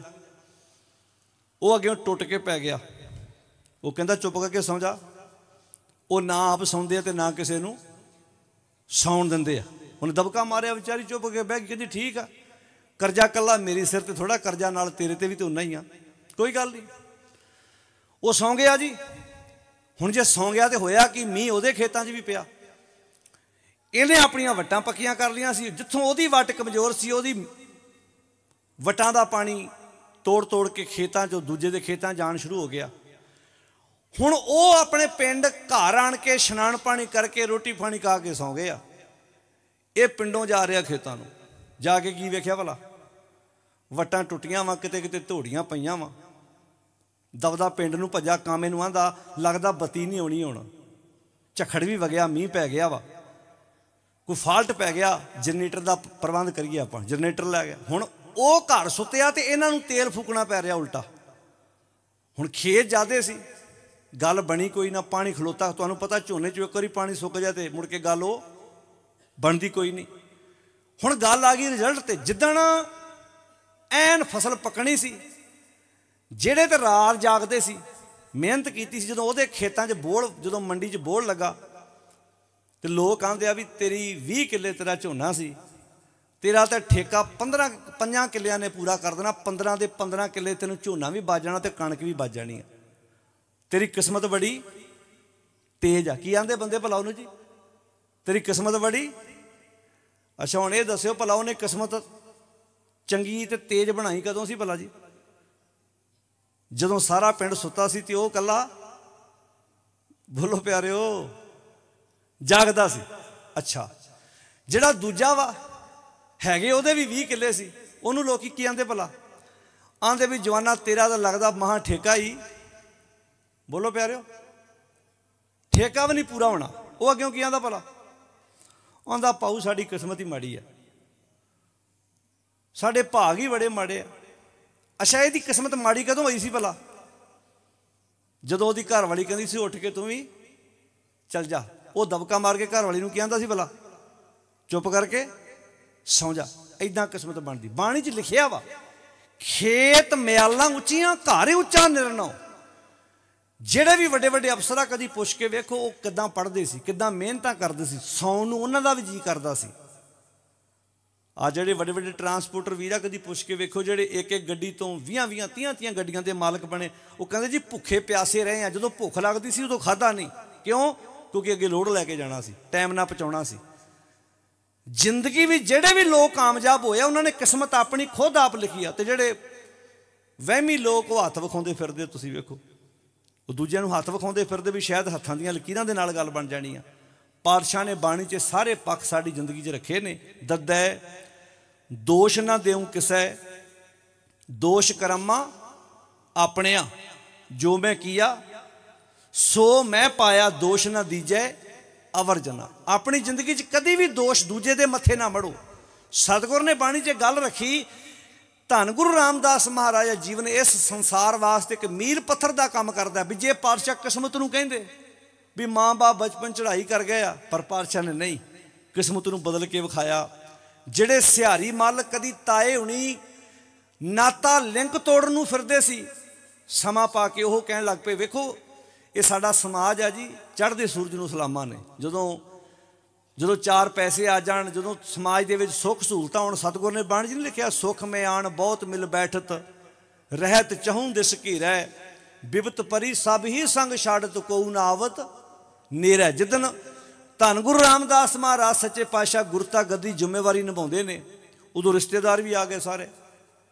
ਉਦੋਂ ਸਾਖ ਸੰਬੰਧੀ ਵੀ ਆਣ ਕੇ ਲਿੰਕ ਜੋੜਨ ਲੱਗ ਪਿਆ, ਸਾਡਾ ਸਾਰਾ ਕੁਝ ਸਾਡੇ ਹੀ ਨਹੀਂ ਜੀ। ਪਰ ਜਿੱਦਣ ਸਿਰ ਦੇ ਤੋਂ ਮਾਂ-ਬਾਪ ਦਾ ਸਾਇਆ ਉੱਠਿਆ ਸੀ, ਉਦੋਂ ਸਭ ਤੋਂ ਪਹਿਲਾਂ ਤਾਇਆ ਚਾਚੇ ਨੇ ਲਿੰਕ ਤੋੜਿਆ ਸੀ। ਉਹ ਭਾਗਾਂ ਵਾਲੇ ਹੁੰਦੇ ਨੇ ਤਾਏ ਚਾਚੇ, ਜਿਹੜੇ ਭਰਾ ਦੇ ਜਾਣ ਤੋਂ ਬਾਅਦ ਵੀ ਆਪਣੇ ਭਰਾ ਦੇ ਬੱਚਿਆਂ ਨੂੰ ਆਪਣੇ ਬੱਚੇ ਜਾਣ ਕੇ ਆਪਣੀ ਜ਼ਿੰਮੇਵਾਰੀ ਨਿਭਾਉਂਦੇ ਨੇ। ਉਹ ਕਹਿੰਦੇ, ਨਹੀਂ ਭਾਈ, ਸਾਡੇ ਭਰਾ ਨੇ ਸਾਡਾ ਬਹੁਤ ਕੀਤਾ ਹੈ। ਸਾਡੇ ਹੁੰਦਿਆਂ ਇਹ ਬੱਚੇ ਦਰ-ਦਰ ਕੇ ਠੋਕਰਾਂ ਨਹੀਂ ਖਾਣਗੇ, ਪਰ ਸਾਰੇ ਇੱਕੋ ਜਿਹੇ ਨਹੀਂ ਹੁੰਦੇ, ਪਿਆਰਿਓ। ਧਰਮ ਦੀ ਦੁਨੀਆ ਵਿੱਚ ਸਾਡਾ ਸੰਸਾਰ ਆ, ਬੰਦਾ ਆਣ ਕੇ ਗੁਰਦੁਆਰੇ ਮੱਥੇ ਟੇਕਦਾ ਹੈ। ਜਿੱਦਨ ਸਾਨੂੰ ਮਾਨਵਤਾ ਵਿੱਚੋਂ ਰੱਬ ਵੇਖਣਾ ਆ ਗਿਆ ਨਾ ਉਦੋਂ ਜ਼ਿੰਦਗੀ ਦੀ ਰੂਪਰੇਖਾ ਹੋਰ ਹੋਏਗੀ ਉਦੋਂ ਜ਼ਿੰਦਗੀ ਜਿਉਣ ਦਾ ਤਰੀਕਾ ਹੋਰ ਹੋਏਗਾ। ਤਾਂ ਧੰਨ ਗੁਰੂ ਰਾਮਦਾਸ ਮਹਾਰਾਜ ਦਾ ਵਾਕ ਹੈ, ਅੰਤਰਾ ਗਿਆਨ ਬੰਦੇ ਦੇ ਅੰਦਰ ਅੰਦਰ ਗਿਆਨਤਾ ਹੈ। ਭਈ ਮਤ ਮਧਮ ਤੇ ਬੰਦੇ ਦੀ ਮਤ ਹੌਲੀ ਹੋ ਗਈ। ਅੰਤਰ ਗਿਆਨ ਭਈ ਮਤ ਮਧਮ, ਸਤਗੁਰ ਕੀ ਪ੍ਰਤੀਤ ਨਾਹੀ। ਜਿੱਦਣ ਬੰਦੇ ਦੀ ਮਤ ਹੌਲੀ ਪੈਂਦੀ ਹੈ ਨਾ, ਅੰਦਰ ਗਿਆਨਤਾ ਹੁੰਦੀ ਹੈ ਤੇ ਸਭ ਤੋਂ ਪਹਿਲਾ ਕੰਮ ਪਤਾ ਕਿਹੜਾ ਹੁੰਦਾ ਹੈ? ਆਪਣੇ ਗੁਰੂ ਤੋਂ ਵਿਸ਼ਵਾਸ ਉੱਠ ਜਾਂਦਾ ਬੰਦੇ ਦਾ। ਅੱਜ ਬਹੁਤਿਆਂ ਦਾ ਵਿਸ਼ਵਾਸ ਆਪਣੇ ਗੁਰੂ ਤੋਂ ਕਿਉਂ ਉੱਠਿਆ ਜੀ? ਕਿਉਂਕਿ ਅੰਦਰ ਅਗਿਆਨਤਾ ਸੀ। ਸਾਡੇ ਅੰਦਰ ਦੀ ਅਗਿਆਨਤਾ ਨੇ ਗੁਰੂ ਦੇ ਬਰਾਬਰ ਕਿੰਨਾ ਕੁਝ ਖੜਾ ਕਰ ਦਿੱਤਾ, ਕਿੰਨਾ ਕੁਝ ਪਖੰਡ ਖੜਾ ਕਰ ਦਿੱਤਾ। ਇਸੇ ਕਰਕੇ ਕਿਉਂਕਿ ਸਾਨੂੰ ਇਹ ਨਹੀਂ ਪਤਾ ਲੱਗਾ ਵੀ ਸਾਡੇ ਗੁਰੂ ਕੋਲ ਸਭ ਕੁਝ ਹੈ। ਸਾਚੇ ਸਾਹਿਬਾ, ਕਿਆ ਨਹੀਂ? ਘਰ ਰਹਿ ਘਰ ਤਾਂ ਤੇਰਾ ਸਭ ਕਿਛ ਹੈ, ਜਿਸ ਦੇ ਤੂੰ ਪਾਵੇਂ। ਰੇ ਜੀ ਨਲਾਜ, ਭਗਤ ਕਬੀਰ ਜੀ ਕਹਿੰਦੇ ਨੇ, ਕਹਿੰਦੇ, ਹੇ ਜੀ ਨਲਾਜ, ਲਾਜ ਤੋਏ ਨਹੀਂ, ਤੈਨੂੰ ਲਾਜ ਨਹੀਂ ਆਉਂਦੀ। ਹਰ ਤਜ ਕਤ ਕਾਹੂ ਕੇ ਜਾਹੀਂ, ਤੂੰ ਆਪਣਾ ਪਿਓ ਛੱਡ ਕੇ ਕਿੱਥੇ ਕਿੱਥੇ ਤੁਰਿਆ ਫਿਰਦਾ ਬਈ ਅੰਤਰ ਗਿਆਨ ਅੰਦਰ ਗਿਆਨਤਾ ਹੈ, ਭਈ ਮਤ ਮਧਮ। ਹੁਣ ਤੁਸੀਂ ਵੇਖੋ, ਲਾਈਟ ਘੱਟ ਹੋਵੇ ਨਾ, ਤੇ ਪੜਿਆ ਨਹੀਂ ਜਾਂਦਾ ਪਿਆਰਿਓ। ਤੁਸੀਂ ਸਾਰੇ ਸੂਝਵਾਨ ਬੈਠੇ ਹੋ। ਤੁਹਾਡੀ ਗੱਡੀ ਦੀ ਲਾਈਟ ਮੱਧਮ ਹੋਵੇ, ਰੋਡ ਦੇ ਉੱਤੇ ਚੱਲ ਪਾਓਗੇ ਜੀ? ਏਜੰਸੀ ਵੱਲੋਂ ਗੱਡੀ ਮਿਲੀ ਹੋਵੇ, ਵਧੀਆ ਆਪਾਂ ਨੂੰ ਟੌਪ ਦੀਆਂ ਲਾਈਟਾਂ, ਫੇਰ ਵੀ ਬੰਦਾ ਪਤਾ ਕਹਿੰਦਾ ਜੀ ਟਿਊਬਾਂ ਥੋੜੀਆਂ ਮੱਧਮ ਆ ਵਧੀਆ ਲਿਆ ਕੇ ਆਪਣੇ ਵੱਲੋਂ ਜਾ ਕੇ ਭਾਵੇਂ ਨੁਕਸਾਨ ਹੀ ਉਠਾ ਲਵੇ, ਪਰ ਚੰਗੀ ਲਾਈਟ ਚਾਹੁੰਦਾ ਵੀ ਦੇ ਦਿਨ ਦਾ ਚੜਾ ਹੋਣਾ ਚਾਹੀਦਾ ਕਿ ਜਦੋਂ ਮੈਂ ਰੋਡ ਤੇ ਚੱਲਾਂ। ਭਾਵੇਂ ਅਗਲੇ ਬੰਨੇ, ਅਗਲੇ ਨੂੰ ਤੁਹਾਡੀ ਗੱਡੀ ਚਲਾਉਂਦੇ ਦਿਸੇ, ਨਾ ਦਿਸੇ, ਪਰ ਬੰਦਾ ਚਾਹੁੰਦਾ ਮੇਰਾ ਰਾਹ ਸਾਫ਼ ਹੋਣਾ ਚਾਹੀਦਾ। ਜੇ ਲਾਈਟ ਮੱਧਮ ਹੋਵੇ ਤੇ ਬੰਦਾ ਸਫ਼ਰ ਕਰਨ ਵਿੱਚ ਦਿੱਕਤ ਮਹਿਸੂਸ ਕਰਦਾ ਹੈ। ਤਾਂ ਹਜ਼ੂਰ ਪਤਾ ਕੀ ਫਰਮਾਉਂਦੇ ਅੰਤਰ ਅਗਿਆਨ। ਜਦੋਂ ਬੰਦੇ ਦੇ ਅੰਦਰ ਅਗਿਆਨਤਾ ਹੁੰਦੀ ਹੈ ਨਾ, ਭਈ ਮਤ ਮੱਧਮ, ਤੇ ਬੰਦੇ ਦੀ ਮਤ ਦੀ ਜਿਹੜੀ ਲਾਈਟ ਆ ਨਾ, ਉਹ ਮੱਧਮ ਹੋ ਜਾਂਦੀ ਹੈ। ਰੌਸ਼ਨੀ ਮੱਧਮ ਹੋ ਜਾਂਦੀ ਹੈ। ਬੰਦੇ ਦੀ ਮਤ ਸਖਣੀ ਹੋ ਜਾਂਦੀ ਹੈ, ਹੌਲੀ ਹੋ ਜਾਂਦੀ ਹੈ। ਅੰਤਰ ਗਿਆਨ ਭਈ ਮਤ ਮੱਧਮ, ਸਤਗੁਰ ਕੀ ਪ੍ਰਤੀਤ ਨਹੀਂ ਤੇ ਸਭ ਤੋਂ ਪਹਿਲਾ ਕਰਮ ਉਸ ਬੰਦੇ ਦੀ ਜ਼ਿੰਦਗੀ 'ਚ ਇਹ ਹੁੰਦਾ, ਉਹਨੂੰ ਆਪਣੇ ਗੁਰੂ ਤੇ ਭਰੋਸਾ ਹੀ ਨਹੀਂ ਹੁੰਦਾ। ਜਿੱਦਾਂ ਸਿਰ ਆਪਣੇ ਗੁਰੂ ਅੱਗੇ ਝੁਕਾਉਂਦਾ ਉਦਾਂ ਜਾ ਕੇ ਦੂਜੀਆਂ ਥਾਵਾਂ ਤੇ ਝੁਕਾਈ ਜਾਂਦਾ, ਉਹਨੂੰ ਇਹ ਹੀ ਨਹੀਂ ਪਤਾ ਇਹ ਸਿਰ ਗੁਰੂ ਦਾ ਰਾਖਵਾ ਹੈ ਬਈ। ਇਹ ਹਰ ਥਾਂ ਤੇ ਨਹੀਂ ਝੁਕਾਇਆ ਜਾ ਸਕਦਾ। ਇਹ ਸਿਰ ਗੁਰੂ ਦਾ ਰਾਖਵਾ ਹੈ। ਕਿਸੇ ਨੇ ਪੁੱਛਿਆ ਸੀ, ਭਾਈ ਗੁਰਦਾਸ ਜੀ ਨੂੰ ਗੁਰੂ ਨੂੰ ਨਮਸਕਾਰ ਕਿਉਂ ਕਰੀਦੀ ਹੈ? ਕਹਿੰਦੇ, ਇਸ ਕਰਕੇ ਨਮਸਕਾਰ ਗੁਰਦੇਵ ਕੋ। ਸਤ ਨਾਮ ਜਿਸ ਮੰਤਰ ਸੁਣਾਇਆ। ਭਵਜਲ ਵਿੱਚੋਂ ਕੱਢ ਕੇ ਮੁਕਤ ਪਦਾਰਥ ਮਾ ਸਮਾਇਆ ਪਹਿਲੀ ਵਾਰ ਦੀ ਪਹਿਲੀ ਪੌੜੀ ਹੈ ਭਾਈ ਗੁਰਦਾਸ ਜੀ ਦੀ। ਪਰ ਪਿਆਰਿਓ, ਸਾਡੇ ਘਰਾਂ 'ਚ ਸਾਹਿਤ ਹੀ ਹੈ ਨਹੀਂ। ਲਿਟਰੇਚਰ ਘਰਾਂ 'ਚ ਰੱਖਣ ਦਾ ਸ਼ੌਂਕ ਹੀ ਹੈ ਨਹੀਂ। ਕੁੱਟਾਵਾਂ, ਭਾਗਾਂ ਵਾਲਾ ਪਰਿਵਾਰ ਹੋ ਗਿਆ, ਜਿਹਦੇ ਘਰੋਂ ਸਿੱਖ ਇਤਿਹਾਸ ਨਾਲ ਸੰਬੰਧਿਤ ਦੋ ਚਾਰ ਕਿਤਾਬਾਂ ਮਿਲ ਜਾਣਗੀਆਂ। ਨਹੀਂ ਤੇ ਪੜਨ ਦਾ ਸਿੱਖ ਰਾਜ ਕਿਵੇਂ ਬਣਿਆ, ਕਿਵੇਂ ਗਿਆ? ਮਾਰਿਓ ਧਿਆਨ, ਕਿਸੇ ਨੂੰ ਪੁੱਛ ਕੇ ਵੇਖਿਓ, ਕਿਹੜੇ ਰਾਈਟਰ ਦੀ ਲਿਖੀ ਹੋਈ ਕਿਤਾਬ ਹੈ? ਉਹਦੇ 'ਚ ਪ੍ਰਸੰਗ ਕੀ ਹੈ? ਨਹੀਂ ਧਿਆਨ। ਅਸੀਂ ਹੋਰ ਹੀ ਕਿਸੇ ਬੰਨੇ ਤੁਰ ਪਏ ਅਸੀਂ ਆਪਣੀ ਸੁਰਤ ਵਿੱਚ ਹੋਰ ਹੀ ਕੂੜ ਕਬਾੜ ਇਕੱਠਾ ਕਰ ਲਿਆ। ਆਪਣੇ ਵਿਰਸੇ ਤੋਂ ਜਾਣੂ ਹੋਣ ਦੀ ਕਦੀ ਕੋਸ਼ਿਸ਼ ਨਹੀਂ ਕੀਤੀ। ਸਾਡਾ ਵਿਰਸਾ ਕਿੱਡਾ ਕਮਾਲ ਦਾ ਸੀ। ਤੋ ਹਜ਼ੂਰ ਫਰਮਾਉਂਦੇ ਨੇ, ਅੰਤਰ ਅਗਿਆਨ ਭਈ ਮਤ ਮੱਧਮ। ਕਹਿੰਦੇ, ਸਤਗੁਰ ਕੀ ਪ੍ਰਤੀਤ ਨਹੀਂ? ਜਦੋਂ ਗੁਰੂ ਤੋਂ ਭਰੋਸਾ ਉੱਠ ਗਿਆ, ਫਿਰ ਅੱਗੇ ਕੀ ਹੁੰਦਾ? ਅੰਦਰ ਕਪਟ। ਕਪਟ ਦਾ ਅਰਥ ਕੀ ਹੁੰਦਾ ਜੀ? ਧੋਖਾ। ਅੱਜ ਸੰਸਾਰ ਤੇ ਅੱਜ ਬੰਦਾ ਧੋਖਾ ਕਿਉਂ ਦੇ ਰਿਹਾ? ਕਿਉਂਕਿ ਗੁਰੂ ਤੋਂ ਭਰੋਸਾ ਉੱਠ ਗਿਆ। ਜੇ ਰਿਸ਼ਤਾ ਕਰਦੇ ਪੋਤੀ ਦਾ ਉੱਥੇ ਧੋਖਾ। ਧੋਖੇ ਆ ਗਏ ਬਿਜ਼ਨਸ ਕਰਦਾ ਉੱਥੇ ਧੋਖਾ। ਤੁਸੀਂ ਵੇਖੋ ਲਾਵਾਂ ਗੁਰੂ ਗ੍ਰੰਥ ਸਾਹਿਬ ਦੀ ਹਜ਼ੂਰੀ 'ਚ ਹੈ। ਪਰ ਪਰਿਵਾਰ ਦੇ ਇੱਕ ਵਿਭਾਗ ਨੂੰ ਇਹ ਪਤਾ ਹੈ ਵੀ ਇਹ ਵਿਆਹ ਅਸੀਂ ਨਿਭਾਉਣਾ ਥੋੜਾ ਹੈ। ਅਸੀਂ ਤਾਂ ਸਿਰਫ ਇਹਨਾਂ ਦੀ ਵਰਤੋਂ ਕਰਨੀ ਹੋ ਭਾਵੇਂ ਲੜਕੀ ਪਰਿਵਾਰ ਵਾਲਾ ਲੜਕੇ ਦੀ ਵਰਤੋਂ ਕਰੇ ਤੇ ਭਾਵੇਂ ਲੜਕਾ ਪਰਿਵਾਰ ਵਾਲਾ ਲੜਕੇ ਦੀ ਵਰਤੋਂ ਕਰੇ। ਕੀ ਹੈ ਜੀ? ਧੋਖਾ, ਕਪਟ। ਤੇ ਗੁੱਸਾ ਨਾ ਮਨਾਇਓ, ਜਿਹੜੇ ਇੱਕ ਥਾਂ ਤੇ ਧੋਖਾ ਦੇ ਕੇ ਹੋਰ ਘਰ ਵਸਾਉਣਗੇ, ਸਕੂਨ ਉੱਥੇ ਵੀ ਨਹੀਂ ਮਿਲਣਾ। ਕਿਉਂਕਿ ਤੁਸੀਂ ਗੁਰੂ ਦੇ ਨਾਲ, ਗੁਰੂ ਦੀ ਹਜ਼ੂਰੀ ਵਿੱਚ ਪੜੀਆਂ ਲਾਵਾਂ ਨੂੰ ਹੀ ਤੁਸੀਂ ਧੋਖੇ ਦਾ ਰੂਪ ਦੇਤਾ, ਗੁਰੂ ਸੱਚਾ ਸੀ। ਤੁਸੀਂ ਉਸ ਸੱਚੇ ਵਿਚਾਰਧਾਰਾ ਦਾ ਹੀ ਮਜ਼ਾਕ ਬਣਾ ਕੇ ਰੱਖ ਦਿੱਤਾ ਸੰਸਾਰ ਦੇ ਉੱਤੇ। ਕਿੱਥੋਂ ਸਕੂਨ ਮਿਲੇਗਾ ਸਾਨੂੰ? ਅੰਦਰ ਕਪਟ। ਸਭ ਕਪਟੋ ਕਰ ਜਾਣੇ। ਜਿਹਦੇ ਅੰਦਰ ਕਪਟ ਹੋਵੇ, ਉਹਨੂੰ ਇੰਜ ਲੱਗਦਾ ਇੱਥੇ ਵੀ ਧੋਖਾ ਹੀ ਹੋ ਰਿਹਾ, ਇੱਥੇ ਵੀ ਧੋਖਾ ਹੋ ਰਿਹਾ। ਤੇ ਕਪਟ ਹੈ ਕਪਟ ਖਪਾਹੀ, ਇਹੋ ਜਿਹੇ ਬੰਦੇ ਧੋਖਿਆਂ ਵਿੱਚ ਹੀ ਜ਼ਿੰਦਗੀ ਗੁਜ਼ਾਰ ਕੇ ਆਪਣਾ ਜੀਵਨ ਨਸ਼ਟ ਕਰ ਲੈਂਦੇ ਹਨ। ਕਿਉਂਕਿ ਸਤਿਗੁਰ ਕਾ ਭਾਣਾ ਚੇਤਨਾ ਆਵੇ ਸਤਿਗੁਰ ਦਾ ਭਾਣਾ ਉਹਨਾਂ ਦੇ ਚਿੱਤ ਵਿੱਚ ਆਉਂਦਾ ਹੀ ਨਹੀਂ। ਸਤਿਗੁਰ ਦੀ ਸਿੱਖਿਆ ਚਿੱਤ ਵਿੱਚ ਆਉਂਦੀ ਨਹੀਂ, ਕਿਉਂ ਨਹੀਂ ਆਉਂਦੀ? ਕਿਉਂਕਿ ਭਾਂਡਾ ਇੱਕੋ ਸੀ, ਵਸਤੂ ਵਿੱਚ ਹੋਰ ਪਾ ਕੇ ਬੈਠੇ ਸੀ। ਵਸਤੂ ਅੰਦਰ ਵਸਤ ਸਮਾਵੇ, ਦੂਜੀ ਹੋਵੇ ਪਾਸ। ਇੱਕ ਭਾਂਡੇ ਵਿੱਚ ਲੱਸੀ ਪਈ ਹੈ ਜਾਂ ਪਾਣੀ ਪਿਆ, ਉਸ ਭਾਂਡੇ ਤੁਸੀਂ ਦੁੱਧ ਪਾਉਣਾ ਤੁਹਾਨੂੰ ਭਾਂਡੇ 'ਚੋਂ ਪਹਿਲਾ ਪਦਾਰਥ ਡੋਲਣਾ ਪੈਣਾ ਹੈ। ਇੱਥੇ ਭਾਂਡਾ ਹਿਰਦੇ ਦਾ ਉਹੀ ਸੀ। ਉਹਦੇ 'ਚ ਹੀ ਬੰਦੇ ਨੇ ਮਨਮਤ ਰੱਖੀ, ਉਹਦੇ ਵਿੱਚ ਹੀ ਗੁਰਮਤ ਪਾਉਣਾ ਚਾਹੁੰਦਾ ਜੇ ਭਾਈ ਮੰਝ ਨੂੰ ਗੁਰੂ ਅਰਜਨ ਸਾਹਿਬ ਕਹਿ ਸਕਦੇ, ਸਿੱਖੀ ਉਤੇ ਸਿੱਖੀ ਨਹੀਂ ਟਿਕਣੀ, ਤੇ ਸਾਡਾ ਕਿਦਾਂ ਲਿਹਾਜ਼ ਕਰਨਗੇ ਮਹਾਰਾਜ? ਕਹਿ ਦੇਣਗੇ ਮਹਾਰਾਜ ਵੀ ਬੰਦੇ ਐਦਾਂ ਨਹੀਂ ਵੀ ਤੂੰ ਜਿਹੜੀ ਵਿਚਾਰਧਾਰਾ ਚੱਕੀ ਫਿਰਦਾ, ਉੱਥੇ ਸਿੱਖੀ ਦੀ ਵਿਚਾਰਧਾਰਾ ਕਿਦਾਂ ਟਿਕੇਗੀ? ਭਾਂਡਾ ਖਾਲੀ ਕਰਕੇ ਆ ਬਈ। ਇੱਥੇ ਬੜਾ ਕੋਈ ਟਿਕਾ ਕੇ ਬੈਠਾ ਤੂੰ ਆਪਣੇ ਹਿਰਦੇ ਵਿੱਚ। ਰਸ ਸੋਇਨਾ, ਰਸ ਰੂਪਾ ਕਾਮਣ, ਰਸ ਪਰਮਲ ਕੀ ਵਾਸ ਰਸ ਘੋੜੇ, ਰਸ ਸੇਜਾ ਮੰਦਰ, ਰਸ ਮੀਠਾ, ਰਸ ਮਾਸ। ਇਤੇ ਰਸ ਸਰੀਰ ਕੈ ਕੈ ਘਟ ਨਾਮ ਨਿਵਾਸ। ਇੰਨੇ ਰਸ, ਇੰਨੀਆਂ ਮਾੜੀਆਂ ਵਿਚਾਰਾਂ ਅੰਦਰ ਟਿਕਾਈ ਬੈਠਾ ਮਨਮਤ ਟਿਕਾਈ ਬੈਠਾ ਹੈ, ਗੰਦੇ ਵਿਚਾਰ ਟਿਕਾਈ ਫਿਰਦਾ ਗੁਰੂ ਦੀ ਮਤ ਕਿੱਥੋਂ ਟਿਕੇਗੀ ਪਿਆਰਿਆ? ਸਤਿਗੁਰ ਕਾ ਭਾਣਾ ਚਿਤ ਨਾ ਹੋਵੇ ਸਤਿਗੁਰ ਦਾ ਭਾਣਾ ਚਿੱਤ ਵਿੱਚ ਨਹੀਂ ਆਇਆ। ਆਪਣੇ ਸਵਾਏ ਫਿਰਾਂ ਸਵਾਏ, ਕਹਿੰਦੇ ਸਵਾਰਥ ਨੂੰ। ਪਿਆਰਿਓ ਆਪਾਂ ਕਈ ਵਾਰੀ ਕਹਿੰਦਾ ਫਲਾਣਾ ਬੰਦਾ ਖੁਦਗਰਜ ਬੜਾ ਲੋੜ ਹੋਵੇ ਤੇ ਫੋਨ ਚੁੱਕਦਾ ਹੈ, ਲੋੜ ਹੋਵੇ ਤੇ ਫੋਨ ਕਰਦਾ ਹੈ, ਲੋੜ ਹੋਵੇ ਤੇ ਬੰਦਾ ਮਿਲਦਾ ਹੈ। ਗੁੱਸਾ ਨਾ ਮਨਾਇਓ। ਬੰਦਾ ਬੰਦੇ ਨੂੰ ਸਿਰਫ ਸਵਾਰਥ ਵਾਸਤੇ ਨਹੀਂ ਵਰਤਦਾ, ਗੁਰੂ ਨੂੰ ਵੀ ਵਰਤਦਾ ਹੈ। ਇਹ ਗੁਰੂ ਗ੍ਰੰਥ ਸਾਹਿਬ 'ਚ ਲਿਖਿਆ ਹੈ, ਆਪਣੇ ਸਵਾਏ ਫਿਰਾਹੀ। ਸਤਗੁਰ ਨੇ ਬਾਣੀ ਚ ਇਤੋਂ ਲਿਖ ਦਿੱਤਾ ਇੱਕ ਆਪਣੇ ਸਵਾਏ ਆਏ ਬਹਿ ਗੁਰ ਆਗੈ ਜਿਉ ਬਗਲ ਸਮਾਦ ਲਗਾਈ ਹੈ। ਗੁਰੂ ਕੋਲ ਆਣ ਕੇ ਇਦਾਂ ਆਣ ਕੇ ਬਹਿ ਗਿਆ, ਜਿਵੇਂ ਬਗਲਾ ਬੈਠਾ ਹੁੰਦਾ ਅੱਖਾਂ ਬੰਦ ਨੇ। ਪਰ ਉਹ ਤੇ ਗੁਰੂ ਨੂੰ ਵਰਤਣ ਆਇਆ ਹੈ। ਬਹੁਤ ਵਾਰੀ ਬੰਦਾ ਵਰਤਦਾ ਹੈ ਗੁਰੂ ਵੇਖਦੇ ਆਪਾਂ ਸਮਾਜ ਦੇ ਵਿੱਚ। ਤੇ ਵਰਤੀ ਰਹਿ ਜਿਹੜੇ ਨਕਲੀ ਵਿਆਹ ਕਰਾਉਂਦੇ ਨੇ, ਪਤਾ ਤੇ ਹੈ ਹੀ ਉਹਨਾਂ ਨੂੰ, ਉਹ ਵਰਤੀ ਰਹੇ ਨੇ। ਤੇ ਗੁੱਸਾ ਨਾ ਮਨਾਇਓ। ਇਹੋ ਜੇ ਜੀਵਨ ਦੀ ਉਮਰ ਲੰਬੀ ਨਹੀਂ ਹੁੰਦੀ, ਪਿਆਰਿਓ। ਇਹੋ ਜਿਹਾ ਜੀਵਨ ਸਕੂਨ ਨਾਲ ਨਹੀਂ ਕਦੀ ਭਰਦਾ। ਸਿਰਾਂ ਉਹਨਾਂ ਦੇ ਮੁੱਲ ਪਏ ਜਿਹੜੇ ਸਿਰ ਗੁਰੂ ਦੇ ਨਾਲ ਜੁੜੇ ਹੋਏ ਸੀ। ਉਹਨਾਂ ਸਿਰਾਂ ਤੇ ਆਰੇ ਵੀ ਚੱਲੇ, ਪ੍ਰਵਾਹ ਨਹੀਂ ਕੀਤੀ ਸਿੱਖਾਂ ਨੇ। ਅੱਜ ਤਾਂ ਮੇਰੇ ਖਿਆਲ ਚ ਕਹਿਣ ਦੀ ਵੀ ਲੋੜ ਨਹੀਂ, ਅੱਜ ਤਾਂ ਪਹਿਲਾਂ ਡਿੱਗੇ ਪਏ ਆ। ਅੱਜ ਤਾਂ ਗੁਰੂ ਦੇ ਸਿਧਾਂਤ ਨੂੰ ਛੱਡ ਕੇ ਬੰਦਾ ਨਹੀਂ, ਬੰਦਾ ਕਿੱਥੇ ਕਿੱਥੇ ਜਾ ਕੇ ਮੱਥੇ ਟੇਕਦਾ ਪਿਆ। ਤੋ ਹਜ਼ੂਰ ਫਰਮਾਉਂਦੇ ਨੇ, ਸਤਗੁਰ ਕਾ ਭਾਣਾ ਚਿਤ ਨਾ ਆਵੇ, ਆਪਣੇ ਸਵਾਏ ਫਿਰਾਂ ਹੀ। ਸਤਗੁਰ ਦਾ ਪਾਣਾ ਹਿਰਦੇ 'ਚ ਨਹੀਂ ਆਇਆ ਤੇ ਆਪਣੇ ਸਵਾਰਥ ਵਿੱਚ, ਆਪਣੀ ਖੁਦ ਗਰਜੀ ਵਿੱਚ ਪਤਾ ਨਹੀਂ ਬੰਦਾ ਕਿੱਥੇ ਕਿੱਥੇ ਤੁਰਿਆ ਫਿਰਦਾ ਹੈ। ਹਾਂ। ਇੱਕ ਅਰਦਾਸ ਕਰਿਓ ਸੱਚਿਆ ਪਾਤਸ਼ਾਹ ਹੇ ਧੰਨ ਗੁਰੂ ਰਾਮਦਾਸ ਮਹਾਰਾਜ ਸਾਡੇ ਤੇ ਕਿਰਪਾ ਕਰੋ। ਜਿੱਥੇ ਚੀਜ਼ਾਂ ਮੰਗਦੇ ਹੋ ਨਾ ਬਾਕੀ ਆ ਘਰ ਕੋਠੀ ਜ਼ਮੀਨ ਜਾਇਦਾਦ ਇਹ ਆਪੇ ਮਿਲ ਜਾਣੀਆਂ ਵਾ ਮਿਹਨਤ ਕਰੋਗੇ ਆ ਜਾਣੀਆਂ ਵਾ। ਇਹ ਬੜੇ ਲੋਕ ਉਹ ਹੈਗੇ ਜਿਹੜੇ ਨਹੀਂ ਰੱਬ ਨੂੰ ਮੰਨਦੇ ਉਹਨਾਂ ਕੋਲ ਵੀ ਗੱਡੀਆਂ ਕਾਰਾਂ ਹੈਗੀਆਂ ਵਾ। ਅਸਲੀ ਰਹਿਮਤ ਪਤਾ ਕਿਹੜੀ ਮੰਗਿਆ ਕਰੋ? ਕਿਰਪਾ ਕਰੇ ਜੇ ਆਪਣੀ ਤਾਂ ਨਾਨਕ ਸ਼ਬਦ ਕਮ- ਸਮਾਹੀ। ਹੈ ਨਾਨਕ, ਮੇਰੇ ਤੇ ਕਿਰਪਾ ਕਰੋ। ਹੈ ਗੁਰੂ ਰਾਮਦਾਸ ਮਹਾਰਾਜ ਏਕੋ ਦਾਤਾ, ਮੇਰੇ ਤੇ ਰਹਿਮਤ ਕਰੋ। ਮੈਂ ਤੁਹਾਡੇ ਸ਼ਬਦ ਵਿੱਚ ਸਮਾ ਜਾਵਾਂ। ਮੈਨੂੰ ਤੁਹਾਡੀ ਮੱਤ ਆ ਜਾਏ। ਇੰਜ ਕਿਆ ਕਰੋ, ਇਹ ਕਾਰਾਂ, ਕੋਠੀਆਂ, ਜ਼ਮੀਨਾਂ, ਜਾਇਦਾਦਾਂ ਤੇ ਆ ਜਾਣੀਆਂ। ਕੱਲੀ ਇਹਨੂੰ ਕਿਰਪਾ ਨਾ ਕਿਆ ਕਰੋ।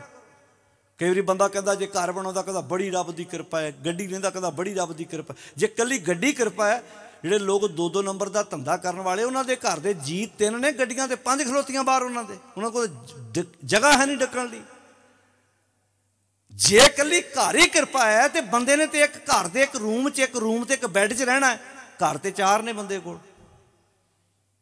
ਫਿਰ ਤੇ ਕਿਰਪਾ ਉਹਨਾਂ ਦੀ ਜ਼ਿਆਦਾ ਹੈ। ਕਿਰਪਾ ਉਸ ਘਰ ਵਿੱਚ ਰਹਿਣਾ ਕਿੱਦਾਂ ਹੈ? ਕਿਰਪਾ ਹੈ ਘਰ 'ਚ ਗੁਰੂ ਦੀ ਵਿਚਾਰ ਹੈ। ਕਿਰਪਾ ਹੈ ਗੁਰੂ ਦਾ ਸਿਧਾਂਤ ਹੈ। ਗੁਰੂ ਦੀ ਬਾਣੀ ਹੈ ਕੋਲ ਦੇ ਵਿੱਚ। ਗੁਰੂ ਦੀ ਬਾਣੀ ਜਿਸ ਗੁਰੂ ਨੇ ਆ ਹੁਣ ਆ ਡੇਢ ਦੋ ਮਹੀਨਿਆਂ ਬਾਅਦ ਆਪਾਂ ਸਾਹਿਬਜ਼ਾਦਿਆਂ ਨੂੰ ਯਾਦ ਕਰਾਂਗੇ। ਤੇ ਸਿਰਫ ਉਹ 10 15 ਦਿਨ। ਬਸ 6 ਪੋਹ ਤੋਂ ਲੈ ਕੇ 13 ਪੋਹ ਤੱਕ ਸਾਰੇ ਕਹਿਣਗੇ ਸਾਹਿਬਜ਼ਾਦੇ। ਉਹ ਕਿਤੇ 4-5 ਦਿਨ ਯਾਦ ਕਰਨ ਵਾਲੇ ਥੋੜਾ ਸਾਹਿਬਜ਼ਾਦੇ। ਉਹ ਤੇ ਜਿਨ੍ਹਾਂ ਨੇ ਸਾਡੇ ਬਦਲੇ ਸਾਰਾ ਕੁਝ ਵਾਰ ਦਿੱਤਾ, ਸਾਡੇ ਬਦਲੇ ਉਸ ਪਾਤਸ਼ਾਹ ਨੇ ਆਪਣੇ ਸਾਹਿਬਜ਼ਾਦਿਆਂ ਦਾ ਸੰਸਕਾਰ ਤੱਕ ਨਹੀਂ ਕੀਤਾ। ਇਨ ਪੁੱਤਰਨ ਕੇ ਸੀਸ ਪਰ ਵਾਰ ਦੀਏ ਸੁਤ ਚਾਰ ਚਾਰ ਮੂਏ ਤੋਂ ਕਿਆ ਹੁਆ ਜੀਵਤ ਕਈ। ਇਹ ਕੇਵਲ ਸਾਨੂੰ 20 ਦਸੰਬਰ ਤੋਂ ਲੈ ਕੇ 28 ਤੱਕ ਹੀ ਕਿਉਂ ਚੇਤੇ ਰਹਿਣ? ਜਦੋਂ ਅਸੀਂ ਫਰਵਰੀ, ਮਾਰਚ ਵਿੱਚ ਆਪਣੇ ਪੁੱਤਰ ਦੀ ਬਰਾਤ ਲੈ ਕੇ ਜਾਂਦੇ ਆ ਉਦੋਂ ਕਿਉਂ ਨਹੀਂ ਸਾਨੂੰ ਚੇਤੇ ਰਹਿੰਦਾ ਸਾਹਿਬਜ਼ਾਦਾ? ਬਾਬਾ ਜੁਝਾਰ ਸਿੰਘ, ਬਾਬਾ ਅਜੀਤ ਸਿੰਘ। ਉਦੋਂ ਕਿਉਂ ਨਹੀਂ ਸਾਨੂੰ ਬਾਬਾ ਫਤਿਹ ਸਿੰਘ ਯਾਦ ਰਹਿੰਦਾ? ਕਿਉਂ? ਮੇਰੀ ਹੱਥ ਜੋੜ ਕੇ ਬੇਨਤੀ ਹੈ, ਆਓ ਆਪਣੇ ਬੱਚਿਆਂ ਦੀਆਂ ਆਨੰਦ ਕਾਰਜਾਂ ਵਿੱਚ ਵੀ ਗੁਰਮਤਿ ਸ਼ਾਮਲ ਕਰ ਲਈਏ। ਵੇਖਿਓ ਘਰ ਕਿੱਡੇ ਸਵਰਗ ਬਣਦੇ ਆ। ਘਰਾਂ 'ਚ ਬਾਣੀ ਦੀ ਵਿਚਾਰ ਲੈ ਆਓ। ਧੀਓ, ਭੈਣੋ, ਬੱਚਿਓ, ਵੀਰਾਂ ਨੂੰ ਬੇਨਤੀ ਹੈ, ਵਿਦੇਸ਼ਾਂ ਵਿੱਚ ਤਾਂ ਬਹੁਤ ਵੀਰ ਐਸੇ ਮਿਲਦੇ ਕਹਿੰਦੇ ਹੁਣ ਸਹਿਜ ਪਾਠ ਕਰ ਲੱਗਦੇ ਆ ਜੀ, ਭਾਵੇਂ ਇੱਕ ਅੰਕ ਰੋਜ਼ ਪੜ੍ਹੀਏ। ਸੱਚ ਹੈ ਜੀ। ਆੜਾ ਮੀਡੀਆ ਹੈ ਨਾ, ਇਹਦੀ ਸਹੀ ਵਰਤੋਂ ਜੇ ਕਰੋਗੇ, ਤੇ ਇਹ ਅੰਮ੍ਰਿਤ ਹੈ। ਗਲਤ ਵਰਤੋਂ ਕਰ ਤੋ ਕਰੋਗੇ, ਇਹਦੇ ਵਰਗਾ ਖਤਰਨਾਕ ਜ਼ਹਿਰ ਕੋਈ ਨਹੀਂ। ਜਿਹੜੇ ਸਹੀ ਵਰਤੋਂ ਕਰਦੇ ਆ, ਕਈ ਟਰੱਕ ਡਰਾਈਵਰ ਵੀਰ ਮਿਲਦੇ ਆ ਕਹਿੰਦੇ ਭਾਈ ਸਾਹਿਬ ਹੁਣ ਤਾਂ ਜਦੋਂ ਟਰੱਕ ਤੇ ਜਾਈਦਾ ਦੀਵਾਨ ਸੁਣਦੇ ਜਾਈਦਾ ਨਾ ਇੰਜ ਲੱਗਦਾ ਦੀਵਾਨ ਹਾਲ 'ਚ ਹੀ ਬੈਠੇ ਆ। ਨਾਲੇ ਆਪਣਾ ਸਫ਼ਰ ਮੁੱਕਦਾ ਜਾਂਦਾ ਨਾਲੇ ਅਸੀਂ ਵਿਚਾਰਾਂ ਸੁਣਦੇ ਜਾਂਦੇ ਆ। ਗੱਲ ਤੇ ਸ- ਹੁਣ ਤੁਹਾਡੀ ਗੱਡੀ ਦੇ ਵਿੱਚ ਦੋਵੇਂ ਚੀਜ਼ਾਂ ਚੱਲ ਸਕਦੀਆਂ ਕੀਰਤਨ ਵੀ ਚੱਲ ਸਕਦਾ ਤੇ ਗੰਦੇ ਗੀਤ ਵੀ ਚੱਲ ਸਕਦੇ ਆ।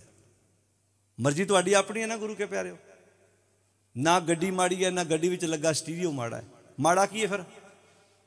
ਬੰਦੇ ਦੀ ਆਪਣੀ ਸੋਚ ਸੋਚ ਬਦਲੋ, ਕਾਰ ਉਹ ਹੀ ਹੈ। ਮੰਨ ਲਓ ਇੱਕ ਕਾਰ ਹੈ, ਉੱਥੇ ਅਗਲੇ, ਅਸੀਂ ਜਦੋਂ 2015 ਵਿੱਚ ਲਾਹੌਰ ਗਏ ਸੀ ਨਾ, ਪਾਕਿਸਤਾਨ, ਤੇ ਉੱਥੇ ਇੱਕ ਜਿਹੜਾ ਸਾਨੂੰ ਕਿਲਾ ਵਿਖਾਉਂਦਾ ਸੀ ਲਾਹੌਰ ਦਾ, ਮੈਂ ਕਹਿ ਕੇ ਖਿਮਾ ਮੰਗਾ, ਕਿਉਂਕਿ ਬਹੁਤ ਸਤਿਕਾਰਯੋਗ ਟਾਡੀ ਸਾਹਿਬਾਨ ਆ ਗਏ ਨੇ, ਉਹਨਾਂ ਨੇ ਤੁਹਾਨੂੰ ਹਿਸਟਰੀ ਸੁਣਾਉਣੀ ਹੈ। ਜਦੋਂ ਅਸੀਂ ਲਾਹੌਰ ਗਏ ਤੇ ਕਿਲਾ ਵਿਖਾਉਣ ਵਾਲਾ ਜਿਹੜਾ ਸਾਨੂੰ ਗਾਰਡ ਸੀ ਨਾ, ਬਜ਼ੁਰਗ ਸੀ, ਪਹਿਲਾਂ ਤੇ ਉੱਥੇ ਨੌਜਵਾਨ ਸੀ, ਉਹ ਬਜ਼ੁਰਗ ਕਹਿੰਦਾ, ਮੈਂ ਵਿਖਾਉਣਾ ਕਿਉਂਕਿ ਜਥਾ ਗਿਆ ਸੀ ਪੂਰਾ ਇੱਥੋਂ।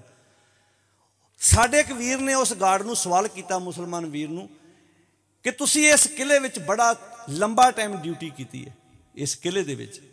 ਤੁਸੀਂ ਕੀ ਮਹਿਸੂਸ ਕਰਦੇ ਹੋ? ਤੇ ਉਹ ਬੜਾ ਪਿਆਰਾ ਜਵਾਬ ਦਿੱਤਾ ਸੀ ਉਹਨੇ। ਕਹਿੰਦਾ ਜੀ, ਮੈਂ ਮਹਿਸੂਸ ਕਰਦਾ ਵੀ ਇਹ ਕਿਲਾ ਮੁਗਲਾਂ ਨੇ ਬਣਾਇਆ। ਇਹ ਚ ਅੰਗਰੇਜ਼ ਵੀ ਰਹੇ, ਮੁਸਲਮਾਨ ਵੀ ਰਹੇ।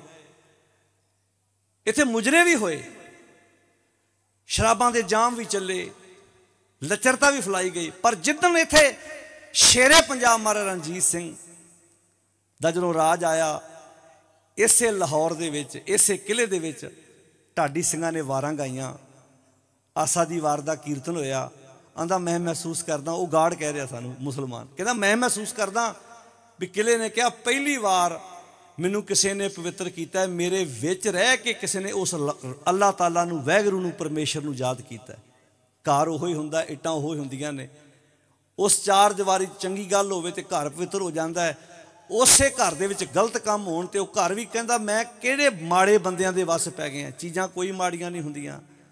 ਚੀਜ਼ਾਂ ਉਹ ਹੁੰਦੀਆਂ ਨੇ, ਉਹਨਾਂ ਚੀਜ਼ਾਂ ਦੀ ਵਰਤੋਂ ਤੁਸੀਂ ਕਿਵੇਂ ਕਰਦੇ ਹੋ? ਆਓ, ਆਪਣੀ ਸੋਚ ਬਦਲੀਏ, ਆਪਣੀ ਸੁਰਤ ਬਦਲੀਏ, ਆਪਣੇ ਬੱਚੇ ਬੱਚਿਆਂ ਨੂੰ, ਆਪਣੀ ਹਿਸਟਰੀ ਬਾਰੇ, ਆਪਣੀ ਕੌਮ ਬਾਰੇ, ਗੁਰੂ ਦੇ ਸਿਧਾਂਤ ਬਾਰੇ ਦਸੀਏ ਤੇ ਕਮ ਸੇ ਕਮ ਜਿਸ ਪਾਤਸ਼ਾਹ ਦਾ ਪ੍ਰਕਾਸ਼ ਪੁਰਬ ਮਨਾਉਂਦੇ ਆ ਨਾ, ਇੰਨਾ ਕੁ ਫਰਜ਼ ਜ਼ਰੂਰ ਨਿਭਾਈਏ। ਸਾਨੂੰ ਕੋਈ ਇਥੋਂ ਰਾਹ ਜਾਂਦਿਆਂ ਪੁੱਛੇ ਵੀ ਜਿਸ ਗੁਰੂ ਦਾ ਗੁਰਪੁਰਬ ਮਨਾ ਰਹੇ ਹੋ, ਤੁਹਾਨੂੰ ਪਤਾ ਉਹਨਾਂ ਦੀ ਕਿੰਨੀਆਂ ਰਾਗਾਂ 'ਚ ਬਾਣੀ ਸੀ?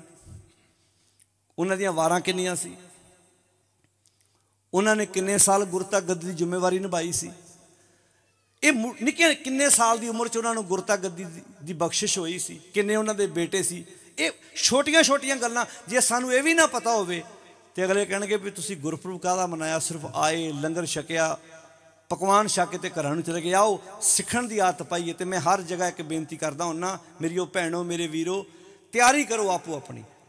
ਅਗਲੇ ਸਾਲ ਗੁਰਪੁਰਬ ਹੋਵੇ, ਕੋਈ ਭੈਣ ਕਵੇ, ਮੈਂ 5 ਮਿੰਟ ਗੁਰੂ ਰਾਮਦਾਸ ਮਹਾਰਾਜ ਦੇ ਜੀਵਨ ਦੇ ਉੱਤੇ ਕੋਈ ਲੈਕਚਰ ਕਰਾਂਗੀ। ਕੋਈ ਵੀਰ ਕਵੇ, ਮੈਂ ਅਗਲੇ ਵਾਰ ਗੁਰੂ ਰਾਮਦਾਸ ਮਹਾਰਾਜ ਜੀ ਦੀ ਜਿਹੜੀ ਉਚਾਰਨ ਕੀਤੀ ਬਾਣੀ ਹੈ, ਉਹਦੇ ਬਾਰੇ 10-15 ਮਿੰਟ ਲੈਕਚਰ ਕਰਾਂਗਾ। ਪ੍ਰਬੰਧਕ ਕੀਰਾਂ ਨੂੰ ਆਣ ਕੇ ਨਾਮ ਲਿਖਾਇਓ ਕਿ ਅਸੀਂ ਆਣ ਕੇ ਉਹਦੇ ਵਿੱਚੋਂ ਵਿਚਾਰ ਕਰਾਂਗੇ। ਜਦੋਂ ਹਰ ਇੱਕ ਸਿੱਖ ਆਪਣੇ ਆਪ ਨੂੰ ਪ੍ਰਚਾਰ ਸਮਝਣ ਲੱਗ ਪਿਆ। ਸਮਝ ਲਓ, ਸਾਡੇ ਘਰਾਂ ਦੀ ਜਿਹੜੀ ਖੇਡ ਹੈ, ਉਹ ਐਡੀ ਪਿਆਰੀ ਹੋ ਜਾਣੀ ਹੈ। ਗੁਰਸਿੱਖ ਮੀਤ ਚੱਲੋ, ਗੁਰ ਚਾਲੀ, ਜੋ ਗੁਰ ਕਹੈ ਸਾਰੇ ਪੜੋ ਜੋ ਗੁਰ ਕਹੈ ਸੋਈ ਪਲ ਮਾਨੋ ਹਰ ਹਰ। ਕਥਾ ਨਰਾਲੀ, ਸਾਡੇ ਜੀਵਨ ਦੀ ਸ਼ੈਲੀ ਵੱਖਰੀ ਹੋਏਗੀ। ਆਓ, ਆਪਣੇ ਘਰਾਂ ਵਿੱਚ ਦਿਨ ਦੀ ਸ਼ੁਰੂਆਤ ਸਤਿਗੁਰ ਦੀ ਬਾਣੀ ਤੋਂ ਕਰੀਏ।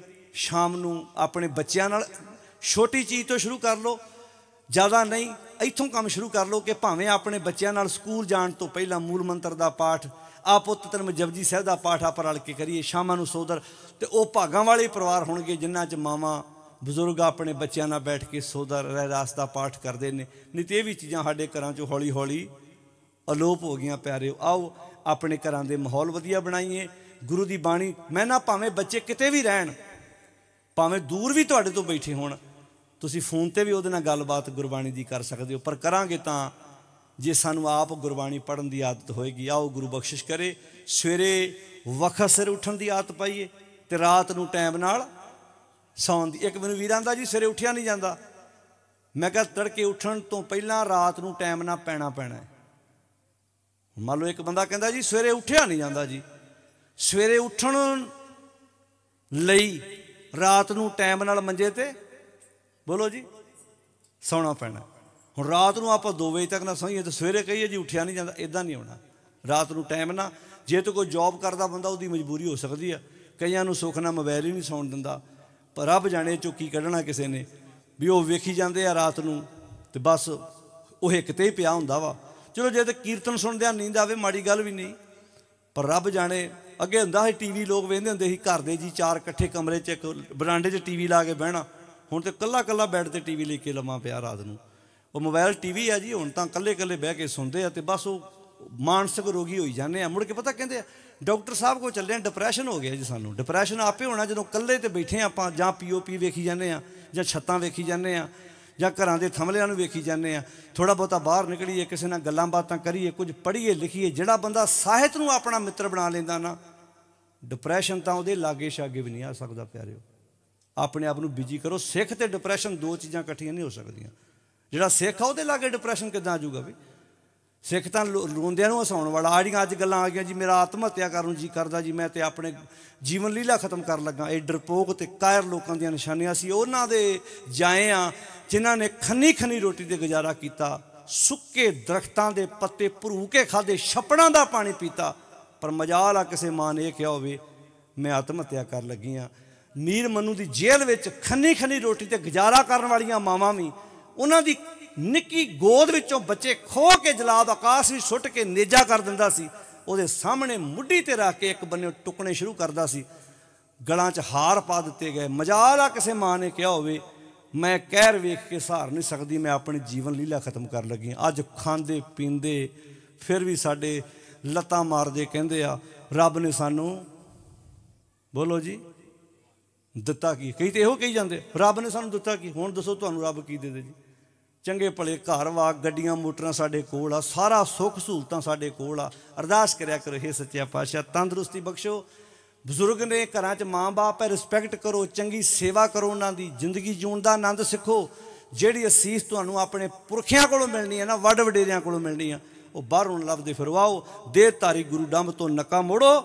ਤੇ ਗੁਰੂ ਦੇ ਸਿਧਾਂਤ ਵਾਲੇ ਬੰਨੇ ਆਪਣਾ ਸਿਰ ਜੋੜੋ। ਜਿੱਦਣ ਸਿੱਖ ਦੇ ਘਰ ਗੁਰਬਾਣੀ ਆ ਗਈ, ਸਮਝ ਲਓ, ਉਦੋਂ ਸਾਡੇ ਘਰ ਦੇ ਵਿੱਚ ਚੜ੍ਹਦੀ ਕਲਾ ਹੋ ਜਾਣੀ ਹੈ। ਸਾਰਿਆਂ ਦਾ ਮਾਲਕ ਭਲਾ ਕਰੇ, ਕਿਰਪਾ ਕਰੇ।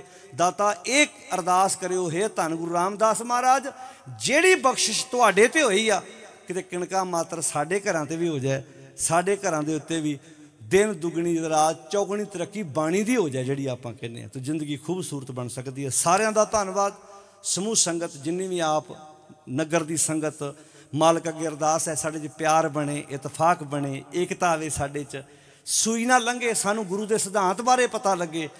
ਵਹਿਮਾਂ ਭਰਮਾਂ ਚੋਂ ਨਿਕਲੀਏ, ਗੁਰੂ ਦੇ ਸਿਧਾਂਤ ਨੂੰ ਆਪਣੀ ਜ਼ਿੰਦਗੀ ਦਾ ਆਨੰਦ ਬਣਾਈਏ। ਜਿੰਨੇ ਵੀ ਵੀਰਾਂ ਨੇ ਇਹਨਾਂ ਸਮਾਗਮ ਵਿੱਚ ਤਨ ਕਰਕੇ, ਮਨ ਕਰਕੇ ਤਨ ਕਰਕੇ ਜੋੜਿਆਂ ਦੀ ਸੇਵਾ, ਸਾਈਕਲ ਸਟੈਂਡ, ਗੱਡੀਆਂ ਦੀ ਸੇਵਾ, ਬਾਹਰ ਸਟੈਂਡ ਦੀ ਸੇਵਾ ਕਰ ਰਹੇ ਆ। ਲੰਗਰ ਬਣਾਉਣ ਵਾਲੇ, ਵਰਤਾਉਣ ਵਾਲੇ, ਮੀਡੀਆ ਦੀ ਸੇਵਾ ਕਰਨ ਵਾਲੇ, ਸਾਊਂਡ ਵਾਲੇ ਵੀਰ, ਟੈਂਟ ਵਾਲੇ, ਜਿੰਨੇ ਵੀ ਮਾਲਕ ਆਪ ਨਾ ਜਾਣਦੇ ਜੀ ਉਹਨਾਂ ਨੂੰ, ਜਿਨ੍ਹਾਂ ਨੇ ਵੀ ਇਹਨਾਂ ਸਮਾਗਮਾਂ 'ਚ ਤਨ ਕਰਕੇ, ਮਨ ਕਰਕੇ, ਧਨ ਕਰਕੇ ਸਹਿਯੋਗ ਦਿੱਤਾ ਹੈ, ਸ- ਸਤਿਗੁਰੂ ਜੀ ਕਿਰਪਾ ਕਰਨ, ਸਾਡੇ ਘਰਾਂ ਵਿੱਚ ਗੁਰੂ ਦੀ ਮੱਤ ਆਵੇ ਤੇ ਅਸੀਂ ਮਨਮਤ ਨੂੰ ਹੁੰਜ ਕੇ ਆਪਣੇ ਪਰਿਵਾਰਾਂ 'ਚੋਂ ਬਾਹਰ ਕੱਢੀਏ, ਖੰਡੇ ਬਾਟੇ ਦੀ ਪੌ ਲੈ ਕੇ, ਗੁਰੂ ਦੇ ਪੁੱਤਰ ਤੇ ਧੀਆਂ ਬਣ ਕੇ ਆਪਣਾ ਜੀਵਨ ਬਤੀਤ ਕਰੀਏ, ਪੁੱਲਾਂ ਚੁੱਕਾਂ ਦੀ ਖਿਮਾ, ਮਾਲਕ ਦੀ ਅੱਗੇ ਅਰਦਾਸ ਕਰੀਏ, ਸਾਰੀ ਸੰਗਤ ਬੜੇ ਅਦਬ ਨਾਲ ਫਤਿਹ ਬੁਲਾਓ ਆਉਣ ਵਾਲੇ ਜਥੇ ਨੂੰ ਜੀ ਆਇਆਂ। ਗੱਜ ਕੇ ਆਖੋ ਸਾਧ ਸੰਗਤ ਜੀ, ਵਾਹਿਗੁਰੂ ਜੀ ਕਾ ਖਾਲਸਾ, ਵਾਹਿਗੁਰੂ ਜੀ ਕੀ ਫਤਿਹ। ਬਹੁਤ ਬਹੁਤ ਧੰਨਵਾਦ ਭਾਈ ਸਾਹਿਬ ਜੀ ਉਹਨਾਂ ਦਾ। ਬੜੇ ਪਿਆਰ ਦੇ ਨਾਲ ਗੁਰੂ ਪਿਆਰੇ